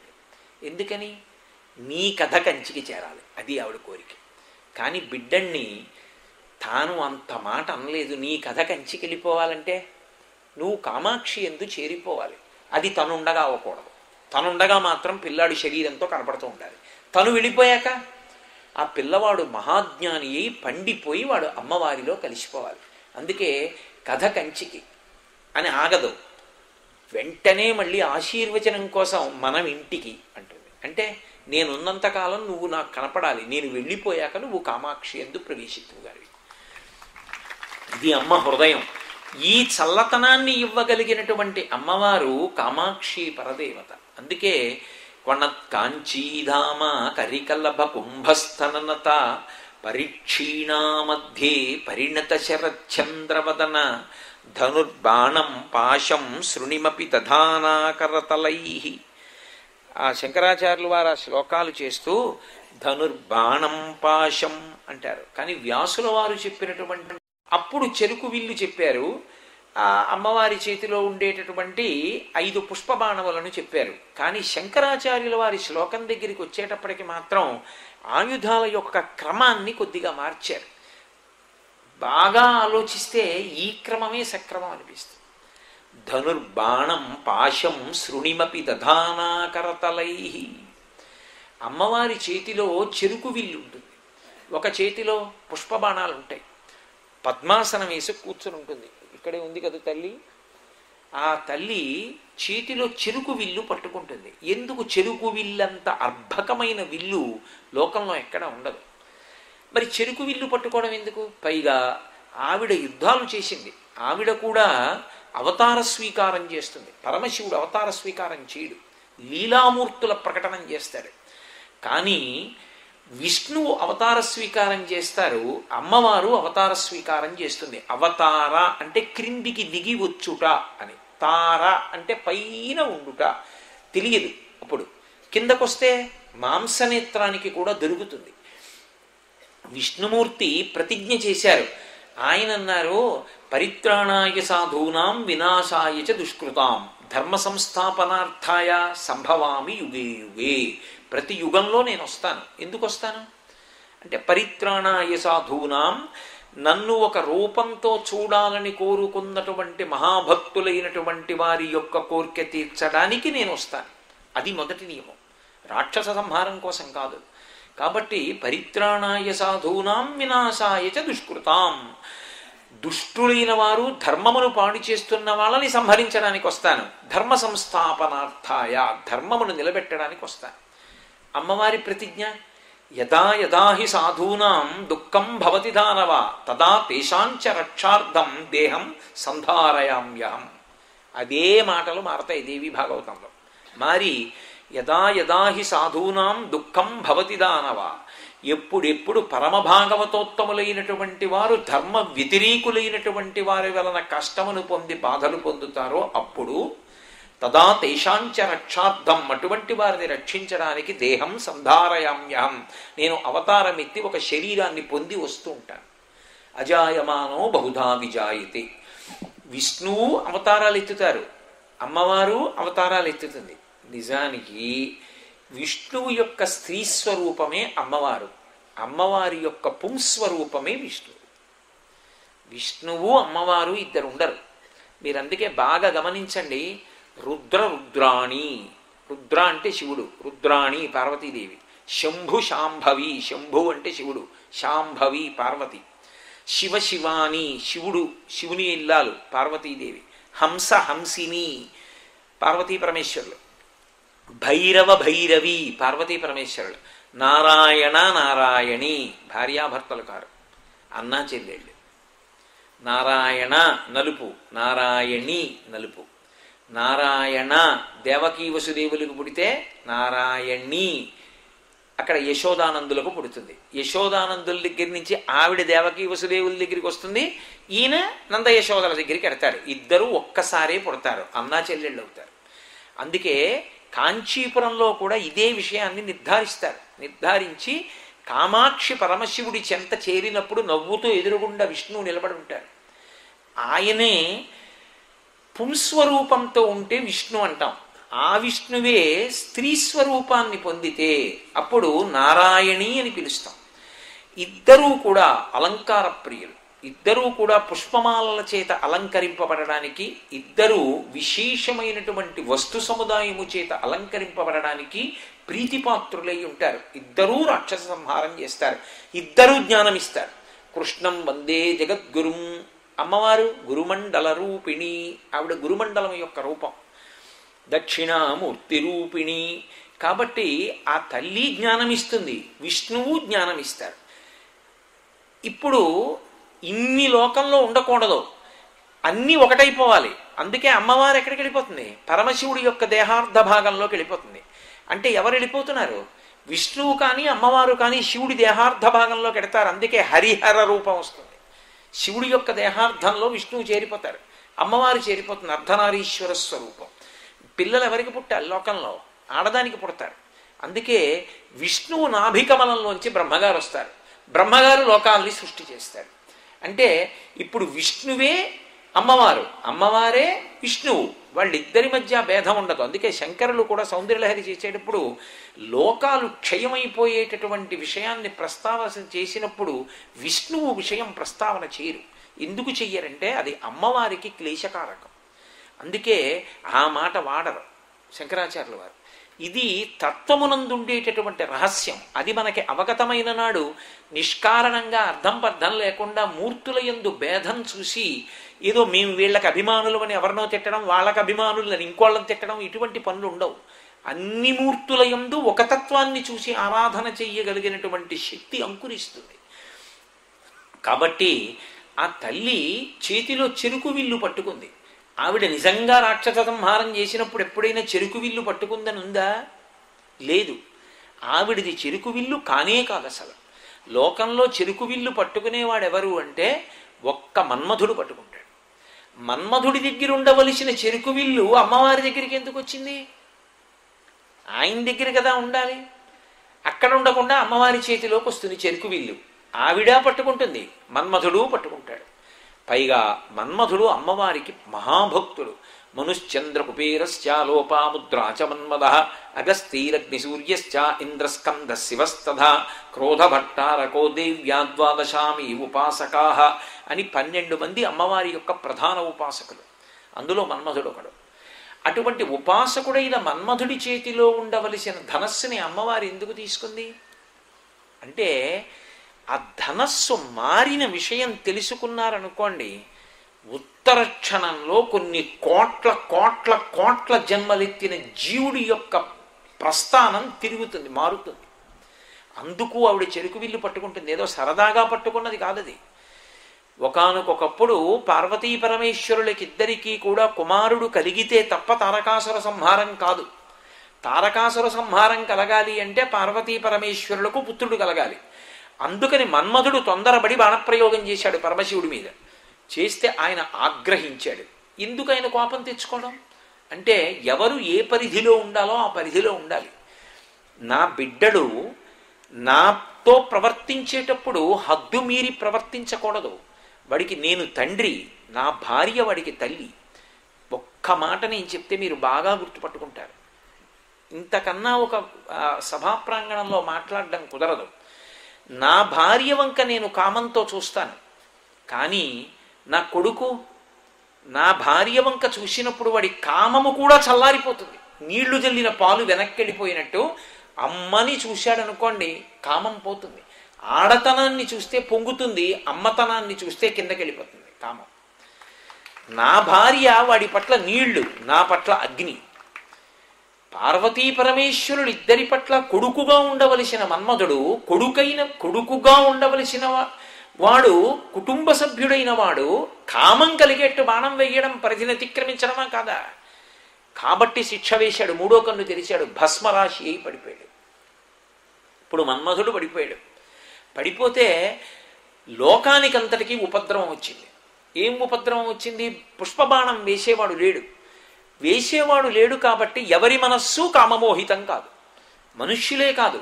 లోకంలో ఏ ప్రాణికి కామం కలగదు. మన్మధుడు లేడు కాబట్టి.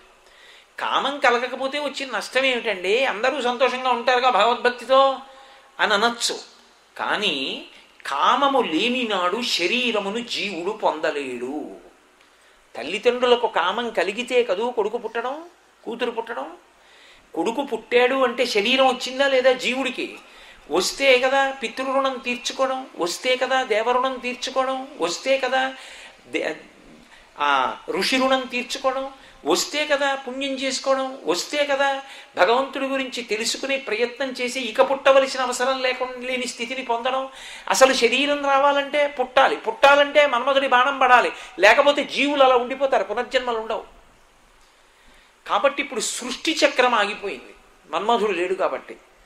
ఆగిపోతే అమ్మవారంది తన కడగంటి చూపు చేత మన్మధుడికి అపారమైన శక్తిని ఇచ్చేసింది. శరీరం లేనివాడిగా శివానుగ్రహంతో వచ్చినటువంటి మన్మధుడికి అంత శక్తిని ఎవరిచ్చారంటే అమ్మవారిచ్చింది. ఇదే శంకరాచార్యులు వారు సౌందర్యలహరిలో చెప్తూ ఓ మాట అంటారు. ధను పౌష్పం మౌర్వీ మధుకరమయీ పంచవిశిఖ వసంతు సామంతో మలయమరుదాయోధనరద తదాప్యేకసర్వం హిమగిరిసుతే కామపి కృపాం అపాంగత్తే లబ్ధ్వా జగదిదమనంగో విజయతే అంటారు. ఆవిడ మన్మధుడి వంక ఇలా కడగంటి చూపు చూసింది. ఇప్పుడు మన్మధుడికి ఎంత శక్తి వచ్చింది? అంటే ధను పౌష్పం. ఆయన పుష్పములతో కూడినటువంటి ధనస్సు పట్టుకుంటాడు అని కూడా ఉంది లోకంలో. అలా ఎక్కడుందండి? చెరుకు విల్లు పట్టుకుంటాడని కదా మీరు ఇందాక చెప్పారు. మరి ఇప్పుడు పుష్పములతో ధనస్సు ఉంటుందంటున్నారు. అలా ఎక్కడుంది? పట్టుకుంటాడని. అంటే అమరకోశంలో ఉంది. అమరకోశం సర్వోన్నత న్యాయస్థానం లాంటిది. సంస్కృత భాషకి. కాబట్టి పుష్పధనస్సు పట్టుకుంటాడు. మౌర్వీ మధుకరమయి వింటినారి తుమ్మెదలతో ఉంటుంది. తుమ్మెదలు ఎప్పుడైనా ఓ వరుస క్రమంలో నిలబడతాయా అసలు? నిలబడవు. పైగా ముందు ధనస్సు పువ్వులతో చేశారు. వెనక తుమ్మెదల బారు ఎలా నిలబడుతుంది? తిన్నగా అవి నిలబడవు. నిలబడిన బాణప్రయోగం చెయ్యాలంటే ఆకర్ణాంతం వింటినారిని లాగాలి. తుమ్మెదల బారు ఎలా వెనక్కి వస్తుంది రాదు. బాణం వాటి మధ్యలోంచి వెనక్కి వచ్చేస్తుంది అంటే ఎందుకు పనికిరాని ధనస్సు? పోని మన్మధుడికి బాణాలా? ఐదే పువ్వులు. పువ్వులతో కొడితే ఎవడు భయపడతాడు? పోని స్నేహితుడు ఏమైనా బలవంతుడా? ఎక్కడో మలయ పర్వతం మీద ఉండేటటువంటి చందన వృక్షముల మించి వచ్చేటటువంటి గాలి ఆయన స్నేహితుడు. ఆ గాలి తన ఇష్టం వచ్చిన వైపు గడిపోతుంది కానీ ఆయన ఎట్టిడదాం అనుకుంటున్నాడో అటువైపుకి ఆ గాలి వస్తుందా? కాబట్టి ఆ గాలి రథం ఆయనకి పనికొచ్చేది కాదు. ఇట్టెడదాం అంటే అది అటుపోతుంది పైగా స్నేహితుడు వసంతుడు మూడు వందల అరవై ఐదు రోజులు ఉండడు. చైత్ర వైశాఖ మాసంలో వసంత ఋతువు. అప్పుడు మాత్రమే ఉంటాడు. మిగిలిన పది నెలలు కనబడ్డాం. అటువంటి స్నేహితుడు. అనంగో. అసలు మన్మధుడికి శరీరం లేదు శివుడు కాల్చేశాడు. కానీ ఆయన ఇన్ని కోట్ల మంది మీద బాణములు వేసి అందరి మనసుల ఎందు కామమును కల్పించి సృష్టి జరిగేటట్టుగా చేయగలుగుతున్నాడు. శివుడు కాల్చేసినా కూడా శరీరం లేకపోయినా ఎక్కడది బలం? అపాంగత్తే లబ్ధ్వా. అమ్మవారు కడగంటి చూపు చూసింది నమస్కారం చేసినప్పుడు అంతే వచ్చేసింది శక్తి. అప్పుడు ఆవిడంది ఓరి పిచ్చివాడా మన్మధుడా నువ్వు చెరుకు విల్లు పట్టుకుంటే లొంగడురా పరమశివుడు. లోకాల మీద నువ్వు బాణాలు వేయగలవేమో ఆయన మీద బాణం వేసి ఆయనని కామమోహితుణ్ణి నువ్వు చేయలేవు. నీ చేతిలో ధనస్సు ఉన్నంత కాలము ఆ పని జరగదు. ఇలాగే ఆ ధనస్సు అంది మన్మధుడి చేతిలో ధనస్సు అమ్మవారు పట్టుకుంది. అమ్మవారు పట్టుకుంటే పరమశివుడు కామేశ్వరుడయ్యాడు. కామేశ్వరుడు అంటే కామము కలిగిన వాడయ్యాడు. కళ్ళల్లో పెట్టుకుని కామేశ్వరుణ్ణి చూసుకుంటుంది కాబట్టి కామాక్షి. అదో అర్థం. అంతటి మహాపతి వ్రత ఆయన్ని ఆవిడ కళ్ళల్లో పెట్టుకు చూసుకుంటారండి అంటారు. కళ్ళల్లో పెట్టుకు చూసుకుంటారంటే నిజంగా కనుగుడ్డు లోపల దాచేస్తారనే? కాదు. అంటే అంత ప్రేమగా చూసుకుంటుంది. భర్తని అంత ప్రేమగా చూసుకునేటటువంటి మహాపతివ్రత ఆవిడ.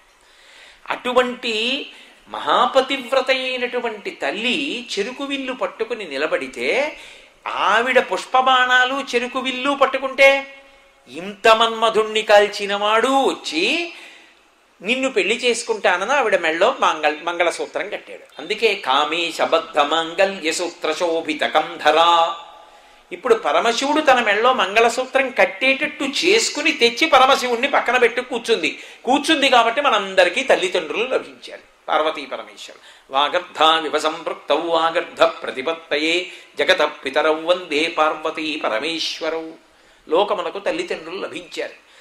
ఇప్పుడు ఆవిడ చెరుకు విల్లు పట్టుకుంటే దాని అర్థం ఏమిటి? ఆవిడ పట్టుకుంది అంటే ఆమె పరమశివుని యొక్క ఇల్లాలు పరమశివుణ్ణి తన తనకి భర్తగా చేసుకుని కూర్చోబెట్టుకుంది. ఇప్పుడు ఆవిడ పరమశివునికి ఇల్లాలైతే మనకెవరు? అమ్మ. లోకమునకు తల్లి అందుకని అఖిలాండేశ్వరి జగన్మాత పరమశివుడికి భార్య శివకామ సుందరి. అందుకు చిదంబరంలో శివకామ సుందరి మధురై వెళ్ళేటప్పటికీ మీనాక్షి జంబుకేశ్వరం వెళితే అఖిలాండేశ్వరి. అన్ని ప్రాణులకు కూడా ఆవిడ తల్లి. మీకు ఇంకొక్కసారి అర్థం అవ్వడానికి నేను మళ్ళీ ఉపమాన ప్రయోగం చేస్తున్నా. నా భార్య నాకు భార్య నా బిడ్డలకు తల్లి. చెరుకు విల్లు అమ్మవారు పట్టుకుంది అంటే పరమశివుడికి ఇల్లాలు మనందరికీ తల్లి. ఇప్పుడు ఆవిడ చెరుకు విల్లు పట్టుకుంటే రెండు ప్రయోజనాలు లభిస్తాయి. ఒకటి మనకి తల్లి అయి ఆమె ఈ సృష్టి అంతా నడవడానికి కారణమవుతోంది. రెండు ఆవిడ చేతిలోకి చెరుకు విల్లు మారిందనుకోండి మనందరి మనస్సుల యొక్క స్థితి మారిపోతుంది. అది మనోరూపేక్షుకోదండ చెరుకు విల్లు మీరు పైన కొరకండి కింద కొరకండి మధ్యలో కొరకండి. తీపితనమే ఉంటుంది. మనస్సు ఎప్పుడు మధుర మధురమైనటువంటి విషయ సుఖములను కోరుకుంటూ ఉంటుంది. మన్మధుడి చేతిలో చెరుకు విల్లు ఉండి బాణములు పడినంతసేపు విషయ సుఖములను కోరుకుంటుంది. నాకు అది కావాలి ఇది కావాలి ఇది కావాలి అది కావాలని రోషి రోజదు కామినీ జనుల తారుణ్యోరు సౌఖ్యంబులన్ బాసీ బాజద పుత్ర మిత్రధన సంపద్ సంపద్భ్రాంతి మంచాలతల్ కోశీ కోయదు నామనంబకట నీకున్ ప్రీతిగా సక్రియల్ చేసీ చేయదు దీని త్రుళ్ళన చవే శ్రీకాళహస్తీశ్వర అంటాడు దూర్జటి అలా ఎప్పుడు విషయ సుఖాలు కోరుకుంటూ ఉంటుంది. నాకు అది కావాలి ఇది కావాలి ఇది కావాలి అది కావాలి అది అనుభవిస్తాను ఇది అనుభవిస్తానంటూ ఉంటుంది. అబ్బా ఇది విసుగంటుంది వదిలేస్తుంటుంది మళ్ళీ ఇంకోటి పట్టుకుంటుంటుంది ఇంకోటి అనుభవిస్తుంటుంది సంకల్ప వికల్ప సంఘాతమై ఎప్పుడు మధుర మధురమైనటువంటి విషయాల్ని అనుభవిస్తుంటుంది అది విషం. కాబట్టి పునర్జన్మ హేతు అవుతుంది. కానీ అమ్మవారి చేతిలోకి వచ్చిందనుకోండి చెరుకు విల్లు. ఇప్పుడేమవుతుందో తెలుసా? అది విషయ సుఖములు కింద ఉండదు భక్తి కింద మారుతుంది.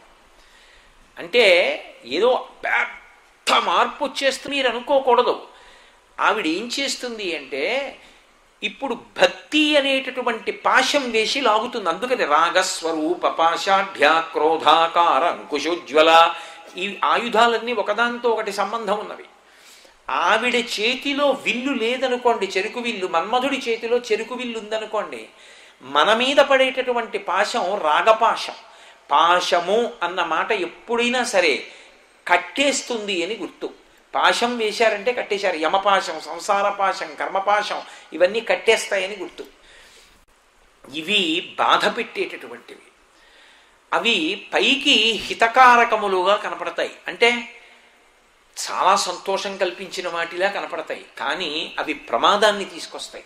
నాకు ఎప్పుడూ విషయముల మీదే ఆలోచన అనుకోండి. మనుష్య జన్మ అందుగా వచ్చింది. దానికోసమా? ఇక ఇరవై నాలుగు గంటలు అక్కర్లేని విషయాలే. పది నిమిషాలు భగవన్నామని చెప్పవా? అప్పుడు జన్మ పాడైపోట్లా? కాబట్టి ఇతర విషయముల ఎందు రాగము పాడు చేస్తుంది మన్మద బాణాలు పడినంతసేపు. అలాగే ఆ కోరిక తీరకపోతే క్రోధం వస్తుంది ఆ రెండు అక్క చెల్లెళ్ళు. నాకు కోరిక పుట్టింది అనుకోండి ఆ కోరిక తీరిపోయింది అనుకోండి గొడవ లేదు. ఏదో రేపు నాకు కాసిన పకోడీలు చేసి పెట్టు. అన్నాను అనుకోండి ఇంట్లో. పకోడీ చేసి పెట్టేసింది అనుకోండి కోరిక తీరిపోయిందని తృప్తి. కానీ ఇప్పుడు నేను కొత్తగా పొందేసింది ఏముంది? దానివల్ల మనుష్య జన్మ అభ్యున్నతికి ఏం పొందినట్టు నేను? ఏమీ లేదు అందులో. కానీ నేను ఇవాళ చేయలేదు పకోడీ. అందనుకోండి వెంటనే నేను ఏమంటాను నిన్న చెప్పాను కదా చేసి పెట్టమని ఎందుకు చేయలేదు? శనగపిండి లేదు ఇంట్లో అందనుకోండి. ఆ మాట నిన్న చెప్తే తెచ్చిద్దునుగా? ఇంకొక గంట ముందు చెప్తే కొడుకుని పంపించి తెప్పిద్దునుగా? ఇప్పుడు నేను పకోడీ వేశావా? అని సాయంకాలం నాలుగింటికి గడిన తర్వాత వేయలేదు శనగపిండి లేదని చెప్తామే అని వెంటనే కోరిక తీరలేదు కాబట్టి కోపం వచ్చిందా రాలేదా? కోరిక తీరితే రాగము కోరిక తీరకపోతే ద్వేషము. ఈ రెండూ పతన హేతువులే. ఎందుకంటే ఏ వస్తువులను అనుభవించడం చేత రాగం ఏర్పడిందో ఏ వస్తువులను అనుభవించకపోవడం చేత క్రోధం ఏర్పడిందో ఈ రెండూ మనస్సుని పట్టుకుంటాయి. మనసుని తొందరగా పట్టుకునేవి ఏమిటంటే రాగద్వేషాలే. ఎవరి మీద కొంతమంది మీద ప్రేమ ఉంటే రాగం కొంతమంది మీద ద్వేషం ఉంటే క్రోధం. ఇప్పుడు ఈ రాగద్వేషాలు పట్టుకుంటే ఏమవుతుందంటే ఆఖరి ఊపిరిలో మనసు ఎవరి మీద రాగద్వేషాలు ఉన్నాయో వాళ్ళని తలుచుకుంటుంది. తలుచుకుంది కాబట్టి తిరియక్కై వెన్నుపం అడ్డంగా ఉండే ప్రాణిగా పుడతాడు. అదే భగవంతుడి గురించి స్మరించాడు అనుకోండి పునర్జన్మయందు మహాపండితుడికి కొడుకుగా పుట్టి తరించే అవకాశానికి దగ్గరైపోతాడు. కాబట్టి ఇప్పుడు మన్మధుడి చేతిలో చెరుకు విల్లు పుష్పబాణములు ఉన్నంతసేపు లౌకికమైనటువంటి కోరికలు పుడతాయి. లౌకికమైనటువంటి కోరికలు తీరనందుకు క్రోధం వస్తుంది. అదే అమ్మవారి చేతిలోకి చెరుకు విల్లు అమ్మవారి చేతిలోకి పుష్పబాణాలు వెళ్ళాయి అనుకోండి విడితే ఏమవుతుందంటే అప్పుడు కోరిక పుట్టడం కాదు ఆ కోరికే భక్తితో కూడుకున్నదిగా మారిపోతుంది. ఎలా మారుతుంది అంటే భాగవతంలో చెప్తారే కమలాక్షు నర్చించు కరములు కరములు శ్రీనాథు వర్ణించు జిహ్వ జిహ్వ సురరక్షకుని చూట్చు చూట్కులు చూట్కులు శేషసాయికి మృక్కు శిరము శిరము విష్ణునాకర్ణించు వీనులు వీనులు మధువైరిద విలి నమనము మనము భగవంతు వలగును పదములు పదములు పురుషోత్తముని మీది బుద్ధి బుద్ధి. దేవదేవుని చింతించు దినము దినము చక్రహస్తుని ప్రకటించు చదువు చదువు కుంభినీదవు చేరుడు. గురుడు గురుడు తండ్రి హరిజేరుమని ఎడి తండ్రి తండ్రి. అని ఏది చేసినా రాగస్వరూప పాషాఢ్యాకి బదులు భక్తి స్వరూప పాషాఢ్య భక్తి పాశముల చేత కట్టబడతాడు. అమ్మవారు విసిరిన భక్తి పాశములకు తగులుకొనబడి ఆవిడ లాగుతుంటే పా ఆవిడ పాదాల చెంతకి చేరుతాడు. చేరిప్పుడు ఓ పులిహార తిందామనిపించింది. ఈశ్వరుడికి నైవేద్యం పెట్టి ప్రసాదంగా తింటానంటాడు. పకోడీ మరిచిపోయాను ఫోన్లే రేపు చేసి పెట్టు. ఈశ్వరుడు ఎందుకో ఇవాళ తినద్దన్నాడు. అందుకే దానికి మరుపు రూపంలో పెట్టించలేదు. రేపు చేసి పెట్టంటాడు. ఇప్పుడు శాంతంగా ఉంటాడు. ఉద్వేగపడిపోడు. ఏదైనా భక్తితోనే ఉంటాడు. ఇప్పుడు పూర్వము తిన్నాడు ఇప్పుడు తింటున్నాడు. ఏమిటి తేడా? ఇప్పుడు తినేటప్పుడు భగవదార్పణం చేసి ఒకరికి పెట్టి తాను తింటాడు. ఇంత పూర్వం పనికి మాలినవన్నీ విని మురిసిపోయాడు. ఇప్పుడు భగవత్ కథలు వినడానికి ఎంతో ఆసక్తి చూపిస్తాడు. ఇంతకుముందు ఏమి పడితే ముట్టుకుని మురిసిపోయాడు. ఇప్పుడు ఈశ్వరుడి పాదముల మీద నిర్మాల్యాన్ని ముట్టుకోవాలని ఆ పువ్వులు వాసన చూడాలని తల మీద పెట్టుకోవాలని ఊరడిల్లుతాడు. ఇత పూర్వం ప్రదోష వేళలో పూల కొట్టుకెళ్ళి మల్లెపూల చెండు తెచ్చి భార్యకి ఇచ్చేవాడు. ఇప్పుడు ఆ మల్లెపూల చెండు తీసుకెళ్ళి కామాక్షి పాదాల దగ్గర పెట్టి ఇది నీ ఐదో తనానికి కారణం పెట్టుకోమని భార్యకి ఇస్తున్నాడు. గృహస్థాశ్రమంలో భర్త భార్యకి పువ్వులదండి ఇవ్వడం తప్పు కాదు. అప్పుడు ఇవ్వడానికి ఇప్పుడు ఇవ్వడానికి తేడా వచ్చింది. అమ్మవారి ప్రసాదంగా ఇస్తున్నాడు. మన్మధుడి చేతిలో చెరుకు విల్లుంటే అక్రమాలినివి వింటూ ఉంటాడు అక్రమాలినివి చూస్తూ ఉంటాడు అక్రమాలినివన్నీ చేస్తూ ఉంటాడు చివరికి పతనం అవుతాడు అమ్మవారి చేతిలోకి వస్తే రాగస్వరూప పాషాఢ్య భక్తి పాషాఢ్య క్రోధాకారాంకుశోజ్వల ఇంతకుముందు కోపం వచ్చేది ఇప్పుడు కోపం వస్తుంది. ఈ కోపం ఎటువంటి కోపం? కోపం మీద కోపం. ఏమిటి నాకు ఈ దిక్కుమాలిన కోపం? అయిందానికి కాందానికి కోపం వస్తుంది నాకు? నేను శాంతంగా ఉండలేనా? ఏ ఎన్నాళ్ళు ఈ కోపం? యాభై ఏళ్ళు దాటిపోయి ప్రతిదానికి కోపడిపోవడమే అసలు ప్రశాంతంగా అయ్యా అది కుదరదులేంటి వదిలిపెట్టేయండి. అని చెప్పలేనా? ఎందుకు అలా మాట్లాడుతుంటాను నేను? అలా మాట్లాడకూడదు. ఈశ్వర నన్ను మన్నించు. నాకు కాస్త ప్రశాంతతని కటాక్షించు. ఇలా మాట్లాడే ధోరణి లేకుండా చేయతండ్రి అని చెంపలేసుకుని ఈశ్వరుడికి క్షమాపణ చెప్తాడు. తన కోపము మీద కోపం వస్తుంది. ఇప్పుడు కోపం రావడం తప్ప ఒప్ప. ఈ కోపం మంచి కోపం ఉత్తమ కోపం. ఇంతకుముందు కామం అక్కర్లేని విషయాల మీద. ఇప్పుడు కామం భగవత్ కామం. భగవంతుడి మీద కోరిక. ఎంత మార్పు వచ్చింది ఇప్పుడు? ఈ మార్పు ఎందుకు వస్తుందంటే చెరుకు విల్లు మన్మధుడి చేతిలోంచి కామాక్షి చేతిలోకి వస్తే. ఆవిడ చేతిలోకి చెరుకు విల్లు వచ్చి ఆవిడ చేతిలోకి పుష్పబాణాలు వస్తే మన ఎందు అంత మార్పు వస్తుంది. ఎందుకంటే ఆవిడ తల్లిగా కూర్చుంది కాబట్టి. కాబట్టి ధనుర్బాణం పాశం శృణిమపి దధానాకరతలై ఆవిడ చేతుల్లో ఐదు బాణాలు ఉన్నాయి అవే శబ్ద స్పర్శ రసరూప గంధములు.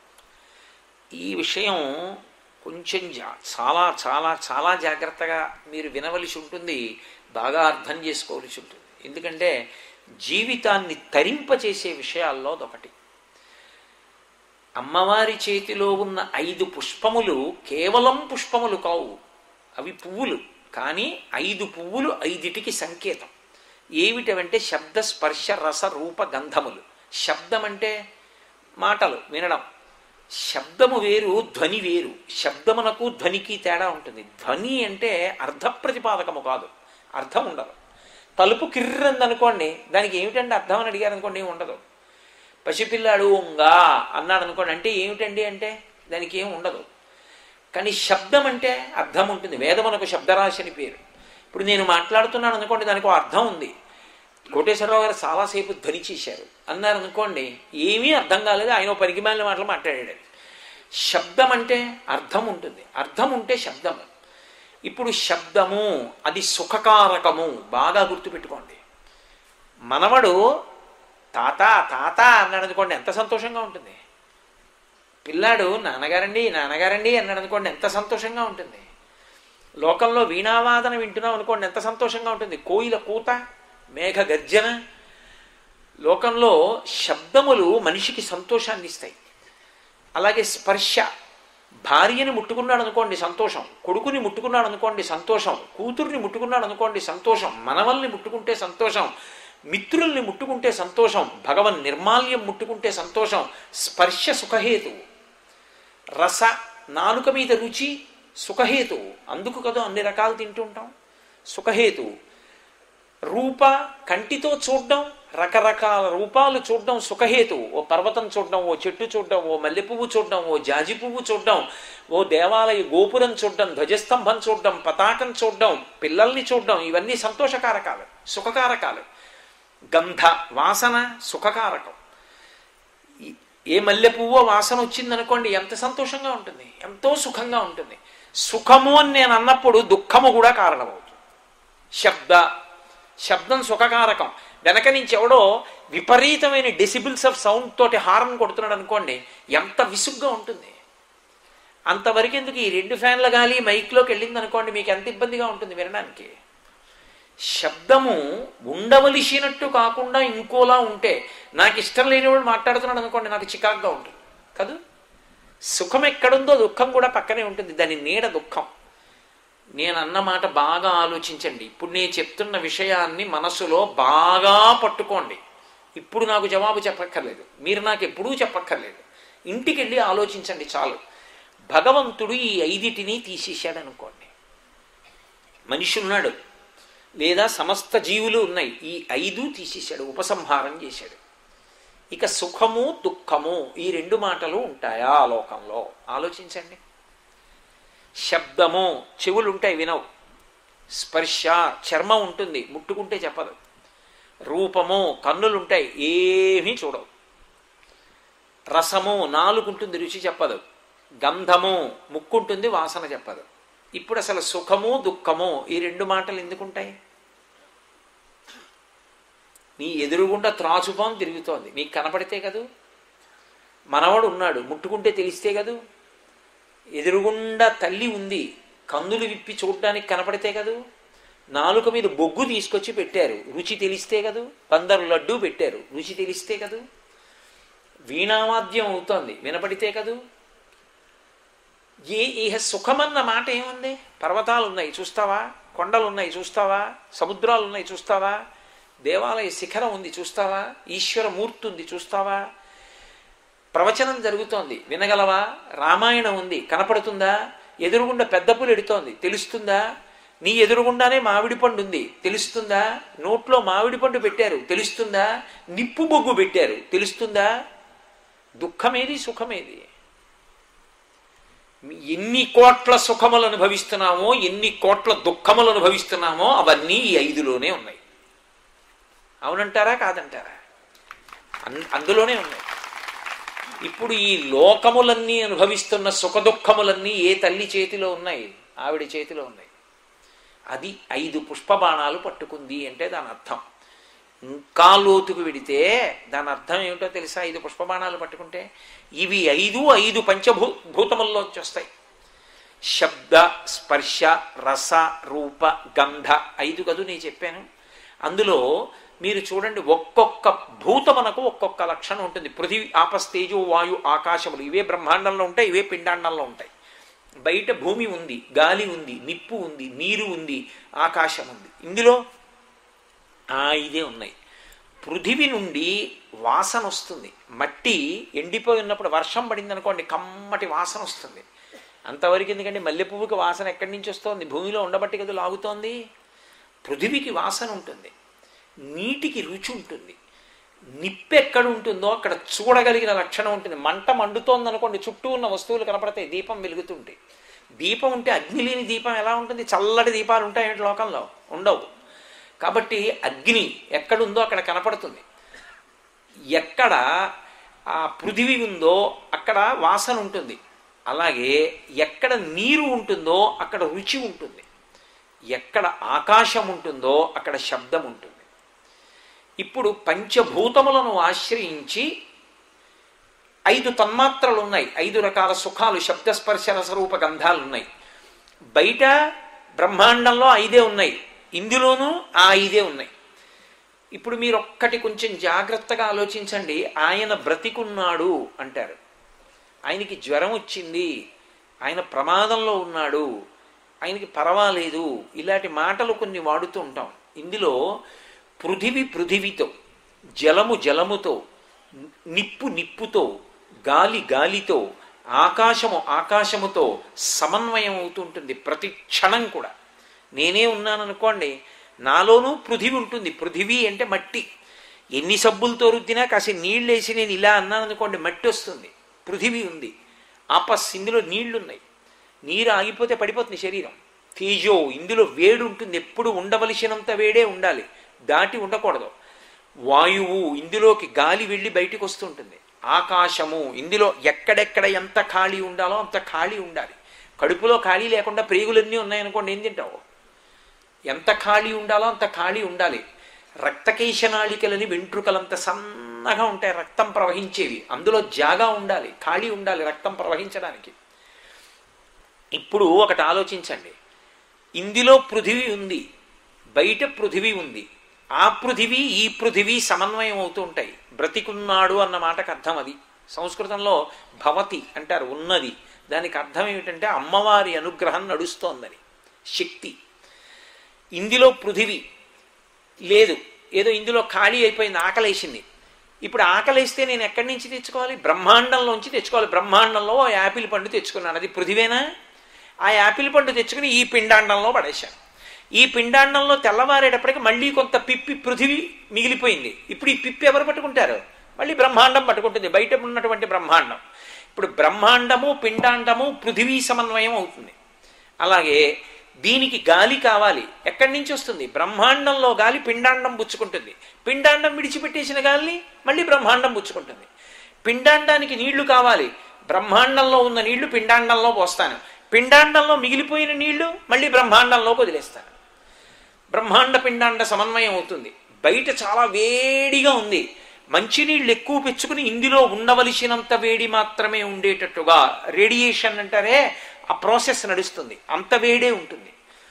అలాగే బయట ఆకాశం ఉంటుంది. లోపల ఆకాశం ఉంటుంది. ఇప్పుడు ఇందులో సమన్వయం ఆగిందనుకోండి. ఒక్కొక్క భూతముతో సమన్వయం ఆగిపోతున్నప్పుడు ప్రమాదం పెరిగిపోతుంది. పృథివితో పృథివి ఆగిందనుకోండి. ప్రమాదం లేదు. ఏమిటో ఆకలి ఇట్లేదు ఎప్పుడో మధ్యాహ్నం తిన్నాను. ఆకలే వేయలేదు. ఐదు గంటలు ప్రయాణం చేసి వచ్చినా కూడా కించిత్ ఆకలి వేయలేదు అన్నాను అనుకోండి ఏదో ఆరోగ్యంలో తేడా ఉంది. ఆకలి వేయాలి కదా? ఆకలి వేసి తింటున్నాను. అంటే పృథివి పృథివితో సమన్వయం అవుతోంది. ఆకలి వెయ్యట్లేదు. పర్వాలేదు. వైద్యుడి దగ్గరికి వెళ్ళి అడగచ్చు. పృథివి కాదు జలము. నీళ్ళు పుచ్చుకోవట్లేదు. ఎందుకు? అసలు దాహం వేయట్లేదు. నీళ్ళు తాగితే వెంటనే బయటికి వెళ్ళిపోతున్నాయి. ఇప్పుడు ప్రమాదం ఎక్కువ. డీహైడ్రేషన్ అంటారు వెళ్ళిపోవాలి వైద్యుడి దగ్గరికి. అంతకన్నా ప్రమాదం వేడి చల్లారిపోతుంది అనుకోండి. శరీరంలో వేడి లేదు చల్లబడిపోతుంది ఒళ్ళంతా మంచు ముద్దలా అయిపోతుంది. ప్రమాదం వెళ్ళిపోవాలి వైద్యుడి దగ్గరికి. బయట వేడితో తగినంత వేడి ఇందులో ఉండట్లేదు వెళ్ళిపోవలసి ఉంటుంది. గాలి బయట గాలిని పుచ్చుకోవట్లేదు లోపల గాలిని విడిచిపెట్టట్లేదు. అత్యంత ప్రమాదం వెళ్ళిపోవాలి. ఒకవేళ ఇందులో ఐదు ఆగిపోయాయి అనుకోండి. ఇక పృథివిని పుచ్చుకోవట్లేదు. యాపిల్ పండు తెచ్చిస్తే ఇక తింటలేదు.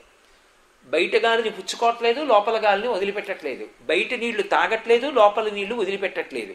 బయట వేడిగా ఉన్నా చల్లగా ఉన్నా ఇది మాత్రం మంచు ముద్దలాగే కొయ్య పారిపోయి ఉండిపోయింది. ఇప్పుడు ఏమంటారు?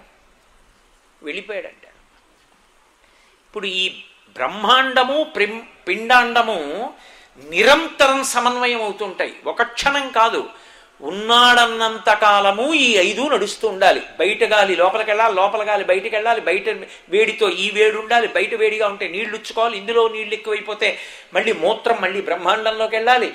ఎప్పుడూ సమన్వయం నడుస్తుంది. సమన్వయము అంటే కదలికలు. కదలికలు అంటే శక్తి. కదలకుండా కూర్చున్న సత్యనిష్ట శివుడు. ఇప్పుడు కదలికలన్నీ ఉండాలంటే ఎవరి అనుగ్రహం ఆ తల్లి అనుగ్రహం. అందుకని ఇప్పుడు ఏమైంది? ఆమె చేతిలో ఐదు పువ్వులున్నాయన్న మాటకు అర్థం ఏమిటంటే మన బ్రతుకులన్నీ ఆవిడ చేతిలో ఉన్నాయి సుమా. ఆవిడ అనుగ్రహిస్తోంది కాబట్టి ఊపిరి తీస్తున్నావు. ఆవిడ అనుగ్రహిస్తోంది ఊపిరి విడిచిపెడుతున్నావు. ఆవిడ అనుగ్రహించింది కాబట్టి నీలో ఉన్న భావన మాటగా ఊపిరి మారుతోంది. ఊపిరి తీసి మాట్లాడాలి. తప్ప ఊపిరి తీస్తూ మాట్లాడలేవు. ఊపిరి విడిచిపెడుతూనే మాట్లాడాలి. ఎప్పుడైనా మాట మాట్లాడాలి అంటే మీరు ఊపిరి తీస్తూ మాట్లాడండి. అన్నాను అనుకోండి మీరు మాట్లాడలేరు. సాధ్యం కాదు కూడా. ఊపిరి తీసేసి ఆ తీసుకున్న ఊపిరిని వాక్కుగా వ్యయం చెయ్యాలి మార్చాలి. ఊపిరి తీయడం ఊపిరి వదలడం అమ్మవారి అనుగ్రహం. తీసుకున్న ఊపిరి మాటగా మారడం అమ్మవారి అనుగ్రహం. ఎందుకో తెలుసా? ఒక్క మాట నోటి వెంట రావాలంటే నా మనస్సులో కలిగినటువంటి ఆలోచన ప్రకారంగా మూలాధార చక్రం దగ్గర నుంచి బయలుదేరినటువంటి వాయువు నోటిదాకా వచ్చి పైకి వెళ్ళి సహస్రార చక్రం దగ్గరికి వెళ్ళి ఇది భేదించి బయటికి వెళ్ళడానికి ప్రయత్నించి ఇంకా సమయం కాలేదు వెళ్ళడానికి వీల్లేదని వెనక్కి తోసేస్తే వచ్చినటువంటి వాయువు నోట్లోకి వచ్చి ఆగితే నేను ఏ మాటలు మాట్లాడాలని అనుకుంటున్నానో ఆ మాటలకు అనుగుణంగా నా నాలుక కదిలితే నా నాలుక కదిలినప్పుడు నొక్కబడినటువంటి గాలి సొట్టలు పడి వర్ణములై అక్షరములై అక్షరములు పదములై పదములు వాక్యములై నా నోటి వెంట పైకొస్తే అవి మీ చెవుల గుండా లోపలికెడితే నీ చెప్పినది మీరైతే సభాభ్య సభాపతిభ్యశ్చవో నమో నమో. అందుకని ఆ తల్లి వాగ్దేవి అని పిలువబడింది. ఇప్పుడు ఆ తల్లి కానిది ఆమె అభ్యున్నతి లేనిది ఆమె ఇవ్వనిది. లోకంలో ఏముంది నాకు చెప్పండి? నాకు కామాక్షి అనుగ్రహం అక్కర్లేదనగలిగిన వాడు ఉంటాడా? ఆవిడ అనుగ్రహం లేకపోతే అసలు మనిషి లేడు. మనిషి కాదు. ఈ బ్రహ్మాండాలు లేవు. ఏ కదలికలైనా ఆవిడే. సూర్యచంద్రులు కదిలినా భూమి కదిలినా భూతములు కదిలినా ప్రాణులు కదిలినా లోపల కదలికలున్నా జీర్ణాశయం కదిలినా గుండె కొట్టుకున్నా మూత్రపిండాలు పనిచేసిన కదలికలన్నీ ఆవిడ అనుగ్రహములే. ఈ కదలికలతో ధర్మం పాటించి కదలికలేని ధ్యాననిష్టయందు నిలబడడం శివుణ్ణి చేరుకోవడం.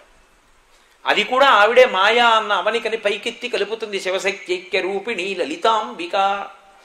కాబట్టి ఇన్నిటిని ఇవ్వగలిగినటువంటి తల్లి ఐదు బాణములను చేతిలో పట్టుకుని సంకేతిస్తోంది. నేను ఇవన్నీ చెయ్యగలను సుమా అని మనకి పాఠం చెప్తోంది ఆవిడ. కాబట్టి రాగస్వరూపపాషాఢ్య క్రోధాకార అంకుశోజ్వల మనోరూపేక్షుకోదండ పంచతన్మాత్రసాయక.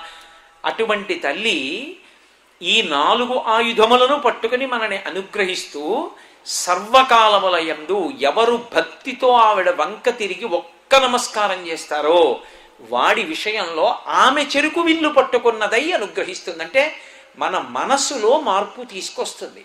శరీరంలో కాదండి రావలసింది మార్పు మనస్సులో రావాలి. మనస్సు ఎలా ఉంది అన్నదాన్ని బట్టి పుణ్యపాపములు ఏర్పడతాయి తప్ప మనస్సు యొక్క స్థితితో సంబంధం లేకుండా పాపపుణ్యాలు ఉండవు. చూసే చూపు ఎవరిదైనా ఒకటే కళ్ళతోనే చూస్తాం. ఎవరు చూసినా ఒకటే చూపు. కానీ చూపు లోచూపు అన్నవి ఎప్పుడు వస్తాయి? నేను ఒకళ్ళ వంక చూసినప్పుడు అలా చూస్తున్నాను అనుకోండి ఏమిటైనా అలా చూస్తున్నారనుకుంటాను. కానీ నేను ఎవరి వంకో చూసి అబ్బా ఎంతటి తేజోమూర్తి. మహానుభావుడు వేదం ఎంత చదువుకున్నారు? గురువుగారిని అంత సేవించి ఉంటారు. ఎంత గాయత్రి చేస్తారు? లేకపోతే అంత తేజస్సు ఎలా వస్తుంది? అని నేను ఆయన వంక చూస్తున్నాను అనుకోండి పూజ్య భావనతో నమస్కార భావనతో చూస్తున్నాను అనుకోండి ఇప్పుడు కళ్ళతో చూడడం తప్పు కాదు. చూసి అభినందించడం చేత లోపల నేను పెరుగుతున్నాను. పుణ్యం మూట కట్టుకుంటున్నాను. అదే నేను చూడు ఎలా ఉన్నాడో పంచి కట్టుకుని. ఏ ప్యాంట్ వేసుకోకూడదు? ఏమిటో ఆ చాదస్తం ఆ పంచి ఏమిటి ఆ మనిషి ఏమిటి ఆ పిల్లకి ఏమిటి ఆ విభూతి ఏమిటి ఆ బొట్టు ఏమిటి ఎందుకు ఇవన్నీ? అని మెట్ట వేదాంతం అని ఒకటి ఉంటుంది. మనసులో ఉండాలి కానీ ఎందుకండి ఇవన్నీ? మీ అబ్బాయి మీద ప్రేమ మనసులో ఉంటే చాలదా అన్నం ఎందుకు పెట్టడం? నీ కొడుకు దగ్గరికి వచ్చేటప్పటికి ప్రేమ ఉంటే అన్నం పెట్టావా? మామిడి పండు పెట్టావా? ఈశ్వరుడి దగ్గరికి వచ్చేటప్పటికి భక్తి ఉంటే విభూతి ఎట్టుకోవద్దు నువ్వు? బొట్టు ఎట్టుకోవద్దు? అక్కడికి వచ్చేటప్పటికి మెట్ట వేదాంతం. భక్తి ఉంటే చాలండి. పూజలు ఎందుకు గుళ్ళు ఎందుకు ఏ నీ పిల్లల విషయంలో పెళ్ళం విషయంలో ఎందుకు పనికిరాలా అది? అరటిపండు పట్టరావే అన్నాడు అనుకోండి భార్యని. పట్టుకొచ్చి అరటిపండు చేతిలో పెట్టింది. ఏమిటి అది? పడుకోవడానికి వెళ్ళిపోయాను పడక గదిలోకి వచ్చేసాను. ఇక్కడికి తెచ్చిస్తే ఇప్పుడు ఆ తొక్కలు ఎక్కడైంది నేను ఎక్కడో పడేస్తే నువ్వే జారి పడిపోతావు. ఈ తొక్క తీసి పట్టరాలేవు? అనవు? భార్య నీకు అరటిపండు ఇమ్మంటే తొక్క తీసి పట్టుకొచ్చి ఇస్తోంది. ఈశ్వరుడికి నైవేద్యం పెట్టడానికి తొక్కతో పెట్టి గిల్లెందుకు పెట్టడం? అంటే రాత్రి నువ్వు తినడానికి ఇప్పుడు కుడిపోతున్నాను భయం నీకు ఇన్ని ఉపకారాలు చేసి ఇన్ని కదలికలు చేసిన వాడికో అరటిపండు ఎట్టడానికి మనకు బాధ. వాడే తినాలి. అని ఎక్కడ పెడుతున్నావు? వాడే తినాలని పెడితే శనివారం పొద్దున్న కొట్టే కొబ్బరికాయకి నీ శుక్రవారం రాత్రే కొబ్బరికూర శనగపప్పు వేయాలా కొబ్బరి పత్ర చేయాలా అన్న నిర్ణయం ఎందుకు? ఇంకా ఆయన ఎందుకు తింటాడు? చీ దూర్తుడా నువ్వు తినాలని ఎప్పుడో నిర్ణయం చేసుకున్నావు. దిక్కుమాల కొబ్బరి చెక్క ఎవడకు కావాలంటాడు. అది నేను సృష్టించిందే. నువ్వేం కొత్తగా పట్టరాలేదంటాడు. కాబట్టి మనసు ఎందు మార్పు రావాలి. ఆ మార్పు మనసులో వచ్చిందనుకోండి ఈశ్వరానుగ్రహమునకు హేతు అవుతుంది. ఆ మనసులో మార్పు ఇవ్వగలిగిన తల్లి ఎవరంటే ఆవిడ. ఆవిడ మనోరూపేక్షుకోదండ కాబట్టి కొణత్కాంచీదామా కరికలభ కుంభస్తననత పరిక్షీణామధ్యే పరిణత శరచంద్రవదన ధనుర్బాణం పాశం శృణిమపి దదానా కరతలై పురస్తాదస్తాం నహ పురమధితురహో పురుషిక అది శంకరుల శ్లోకం అంటే. నహ మా కన్నుల ముందు నా అని శంకరాచార్యులు వారు ఆయన కోసం రాయిలా శ్లోకాన్ని. నహ మా కన్నుల ముందు ఆమె ప్రత్యక్షమవుగాక. ఎవరావిడ? పురస్తాదస్తాన్న పురమధితురహో పురుషిక. పరమశివుని యొక్క అహంకార స్వరూపిణి అంటే నేను అన్న శివుని భావన పైకొచ్చి రూపం దాలిస్తే అదే అమ్మవారు. పరమశివుడు నేనన్న భావనతో ఉండడు. ఎప్పుడు రమిస్తూ అతీత స్థితిలో ఉంటాడు. బహిర్ముఖుడై నేనన్న భావన ఆయనకి కలిగితే ఆయన అహంస్ఫురణము. నేను అన్న ఆయన భావనయే అమ్మవారి రూపంగా కామాక్షి పరదేవతా స్వరూపంగా నిలబడుతోంది. కాబట్టి పురమధితురహో పురుషిక ఈ శ్లోకం మీకు అర్థం అవ్వాలని నేను చెప్పేశాను కామాక్షి అని. శంకరులు చెప్పలేదు. శంకరాచార్యుల వారు చేసిన ప్రయోగం ఏమిటంటే కాంచీదామా అమ్మా నడుముకి గంటలతో కూడిన వడ్డాణం పెట్టుకున్నావు. పేరేమైనా చెప్పారా? కరికలభ కుంభస్తన్నత ఏనుగు యొక్క కుంభస్థలం ఎలా ఉంటుందో అటువంటి స్తనములు కలిగిన దానవై ఉన్నావు. కరికలభ కుంభస్తనత పరిక్షీణామధ్యే సన్నని నడుంతో ఉన్నావు. పరిణత శరచంద్రవదన శరత్కాల పౌర్ణమి నాటి చంద్రబింబం లాంటి ముఖాన్ని కలిగి ఉన్నావు. పరిణత శరచంద్రవదన ధనుర్బాణం పాశం శృణిమపి దధానా కరతలై. చెరుకు విల్లు ఐదు పుష్పబాణాలు రా పాశము అంకుశము నాలుగిటిని పట్టుకుని ఉన్నావు. తల్లి నువ్వు పరమశివుని యొక్క నేనన్న స్వరూపానివి అన్నారు. ఎక్కడైనా పేరు చెప్పారా? ఎక్కడా పేరు చెప్పలా. కానీ మనం కనిపెట్టడానికి ఒక చిన్న సూచన చేశారు. కొన కాంచీ ధామ అని ధామ అన్నప్పుడు కాంచీ అన్నారు. చూడండి ఏదైనా జవాబు చెప్పలేకపోతే నేను చిన్న క్లూ ఇస్తాను. అంటుంటారు అలా ఒక క్లూ ఇచ్చారు. కాంచీ ఆ మాట వేశారు. ఇప్పుడు మీరు ఒక్కొక్కటి ఒక్కొక్కటి తీసుకుని ఓ బొమ్మ గీశారనుకోండి ఆ శ్లోకంతో.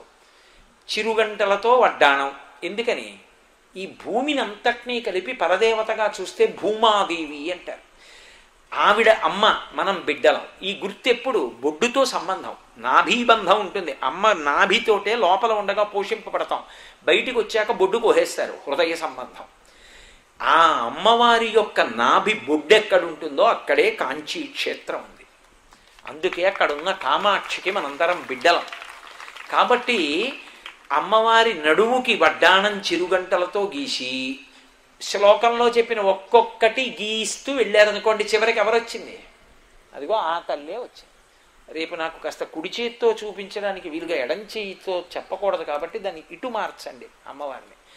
కాబట్టి కొణత్ కాంచీదామ కరికలభ కుంభస్తనత పరిక్షీణా మధ్యే పరిణత శరచంద్రవదన అంటే శంకరాచార్యుల వారు ఆవిడ ఎవరో పేరు చెప్పకుండా మనం అలా గీసుకుంటూ మనసులో వెడితే ఆ నాకు అర్థమైంది ఆవిడ కామాక్షి అని మన చేత అనిపించారు.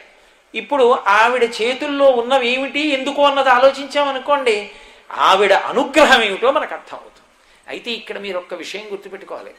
పుష్పబాణాల దాశక్త ధనస్సు దాశక్త అంకుశాన్ శక్త పాశాన్ దాశక్త అసలు వాటన్నిటికీ శక్తి ఆవిడేనా?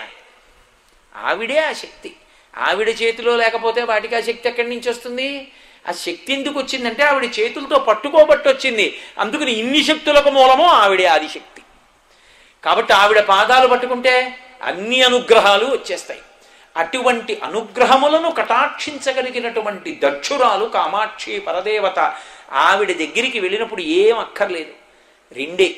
అత్యంత తేలికైన విషయాలు. అమ్మా అంటే చాలు పేరు కూడా అక్కర్లా. కామాక్షి అని అక్కర్లేదు లోకంలో కోటేశ్వరారు మా నాన్నగారండి అంటాం. లేకపోతే పిల్లలు వచ్చి అమ్మ దగ్గరికి వెళ్ళి అమ్మ చాలా పెద్ద అధికారిణి అనుకోండి. అమ్మ దగ్గరికి వెళ్ళి అమ్మని పేరు పెట్టి పిలిచారనుకోండి. అంత పెద్ద అధికారిణి కదా అని అందరూ ఆవిడ పెద్ద అధికారిణి అని చెప్పి ఆవిడని ఎంతో గౌరవిస్తున్నారు. కొడుకెళ్ళి అనురాధమ్మ గారు అన్నాడు అనుకోండి తల్లి ఏమంటుంది ఏమిట్రోయ్ అనురాధమ్మ గారేమిటి? అమ్మ అనలేవా? వాళ్ళంటే బయట వాళ్ళు కాబట్టి అంటారు నువ్వేమిటి? అనురాధమ్మ గారేమిటిరా? అమ్మ అనాలి నువ్వు? అంటుంది. అమ్మ అంటే చాలు అమ్మకి సంతోషం. సహస్రనామములు అక్కర్లేదు మొదటి నామం శ్రీమాత చాలు. అందుకే అమ్మవారి దగ్గరికి వెడితే అమ్మ చాలు. అమ్మ దగ్గరికి వెడితే పడిపోతే చాలు. ఏమీ నోటితో చెప్పక్కర్లేదు. ఇంకా రా- స్వామి దగ్గరికి వెడితే నోటితో చెప్పాలి. రామాయణంలో రాముడు ఎవరైనా సరే నేను సకృదేవ ప్రపన్నాయ తమాస్మీత చయాచితే అభయం సర్వభూదేప్యో దదామ్యే తద్వ్రతం మమ. రామా నేను నీవాడనంటే ఉద్ధరిస్తానన్నాడు. అమ్మవారి విషయంలో అలా అక్కర్లేదు. వెళ్ళి నేల మీద స్వర్ణదండం పడ్డట్టు పడిపోతే చాలు. ఓ కర్ర ఓ బంగారు దండం కింద పడిపోయినట్టుగా పడిపోతే చాలు. ప్రణిపాత ప్రసన్నాహి మైథిలీ జలకాత్మజ జనకాత్మజ అలమేషా పరిత్రాతం రక్షస్వో మహతో భయాత్ అంటారు వాల్మీకి మహర్షి. అమ్మవారి దగ్గరికి వెళ్ళి నేల మీద ఒక బంగారు బెత్తం పడిపోయినట్టు పడిపోతే చాలు ఆవిడ అనుగ్రహించేస్తుంది. అంతటి దయాస్వరూపిణి. అమ్మకి ఎంత ప్రే అమ్మకే అంత ప్రేమ ఉంటే లోకములను కన్న అమ్మ అమ్మలగన్నయమ్మ ముగురమ్మల మూలపుటమ్మ చాలా పెద్దమ్మ సురారులమ్మ కడుపారడి బుచ్చిన యమ్మ తన్ను లోనమ్మిన వెల్పుటమ్మల వనంబున ఉండెడి అమ్మ దుర్గమాయమ్మ కృపబ్ధినిచ్యుత మహత్వ కవిత్వ పటుత్వ సంపదల్ అంటారు పోతన గారు అటువంటి అమ్మ ఏమివ్వదు? ఏమైనా ఇస్తుంది. కాబట్టి అమ్మా అని భక్తితో పిలవగలిగితే చాలు. అటువంటి తల్లి అటువంటి కామాక్షి అటువంటి కామాక్షి పరదేవత యొక్క వైభవం గురించి మాట్లాడాలంటే కొన్ని సంవత్సరములు మాట్లాడినా సరిపోయేది కాదు. కానీ ఆ అమ్మ అనుగ్రహంతో రెండు మాటలు చెప్పుకోవడం చాలు రెండు మాటలు వినడం చాలు. అందున మీ ఊరు ఈ సాలూరు చేసుకున్నటువంటి భాగ్యమేమో నాకు తెలియదు లేదా అది నా భాగ్యమో తెలియదు కానీ ఆషాఢమాసం అమ్మవారికి చాలా విశేషమైనటువంటి ప్రీతిపాత్రమైనటువంటి కాలం. అందుకే ఆషాఢమాసంలో అమ్మవారి ఉత్సవాలన్నీ ఉంటాయి. పెద్దాపురం మరిడమ్మ కానీ నైవేద్యాలు పెట్టడం కానీ అన్నీ అమ్మవారివి. ఇవాళ చాలా గొప్ప తిథి నడుస్తోంది. సూర్యోదయానికి త్రయోదశి పరమశివుడి యొక్క అనుగ్రహాన్ని వర్షిస్తుంది త్రయోదశి. వైష్ణవులు ఎలా ఏకాదశి నాడు శరీరం విడిచిపెట్టాలని కోరుకుంటారో శైవులు త్రయోదశిని అలా కోరుకుంటారు. అటువంటి త్రయోదశి రాత్రి చూస్తే మాస శివరాత్రి చతుర్దశి పరివ్యాప్తమయ్యింది. శని త్రయోదశి విశేషించి స్థిరవారం. ఇన్ని కలిసి ఉన్న రోజున ప్రదోష వేళలో అమ్మవారి గురించి చెప్పుకునే అదృష్టం వినే అదృష్టం కలిగింది ఇంకింతకన్నా ఏం కావాలి? కాబట్టి రేపటి రోజున చీకటి పడిన తరువాత అయితే చుట్టూ పసరిక ఉంది కాబట్టి పురుగులు మిమ్మల్ని ఇబ్బంది పెడతాయేమో నేను ఊళ్ళోనే ఉంటాను కాబట్టి ఎందుకు అలా చీకటి పడిన తర్వాతే వచ్చి చెప్తానని చెప్పి మిమ్మల్ని బాధ పెట్టడం ఎందుకు? హాయిగా ప్రశాంతంగా నాలుగు గంటలకు వస్తే చల్లగానే ఉంటుంది కాబట్టి ప్రశాంతంగా చెప్పుకోవచ్చు. ఏ ఇబ్బంది ఉండదని సాయంకాలం రేపు నాలుగు గంటలకి ప్రవచనం ప్రారంభం అవుతుంది. కాబట్టి నేను నా ఉపన్యాసాన్ని ఇవాల్టి ఉపన్యాసాన్ని ఇక్కడితో పూర్తి చేస్తున్నాను. దయచేసి మీరు అలాగే కూర్చోండి. నేను ఈ ఉపన్యాసం పూర్తి చేసి మీతో ఒక ముఖ్యమైన విషయాన్ని ప్రస్తావిస్తాను. మంగళాశాసన పరై మదాచార్య పురోగమై సర్వైశ్చ పూర్వైరాచార్యై సత్కృతాయాస్తు మంగళం. మంగళం కోసలేంద్రాయ మహనీయ గుణాత్మనే చక్రవర్తి తనూజాయ సర్వభౌమాయ మంగళం. ఉమాకాంతాయ కాంతాయ కామితార్థప్రదాయినే శ్రీగిరీశాయ దేవాయ మల్లినాథాయ మంగళం. సర్వం శ్రీ ఉమామహేశ్వర పరబ్రహ్మార్పణమస్తు. స్వస్తి.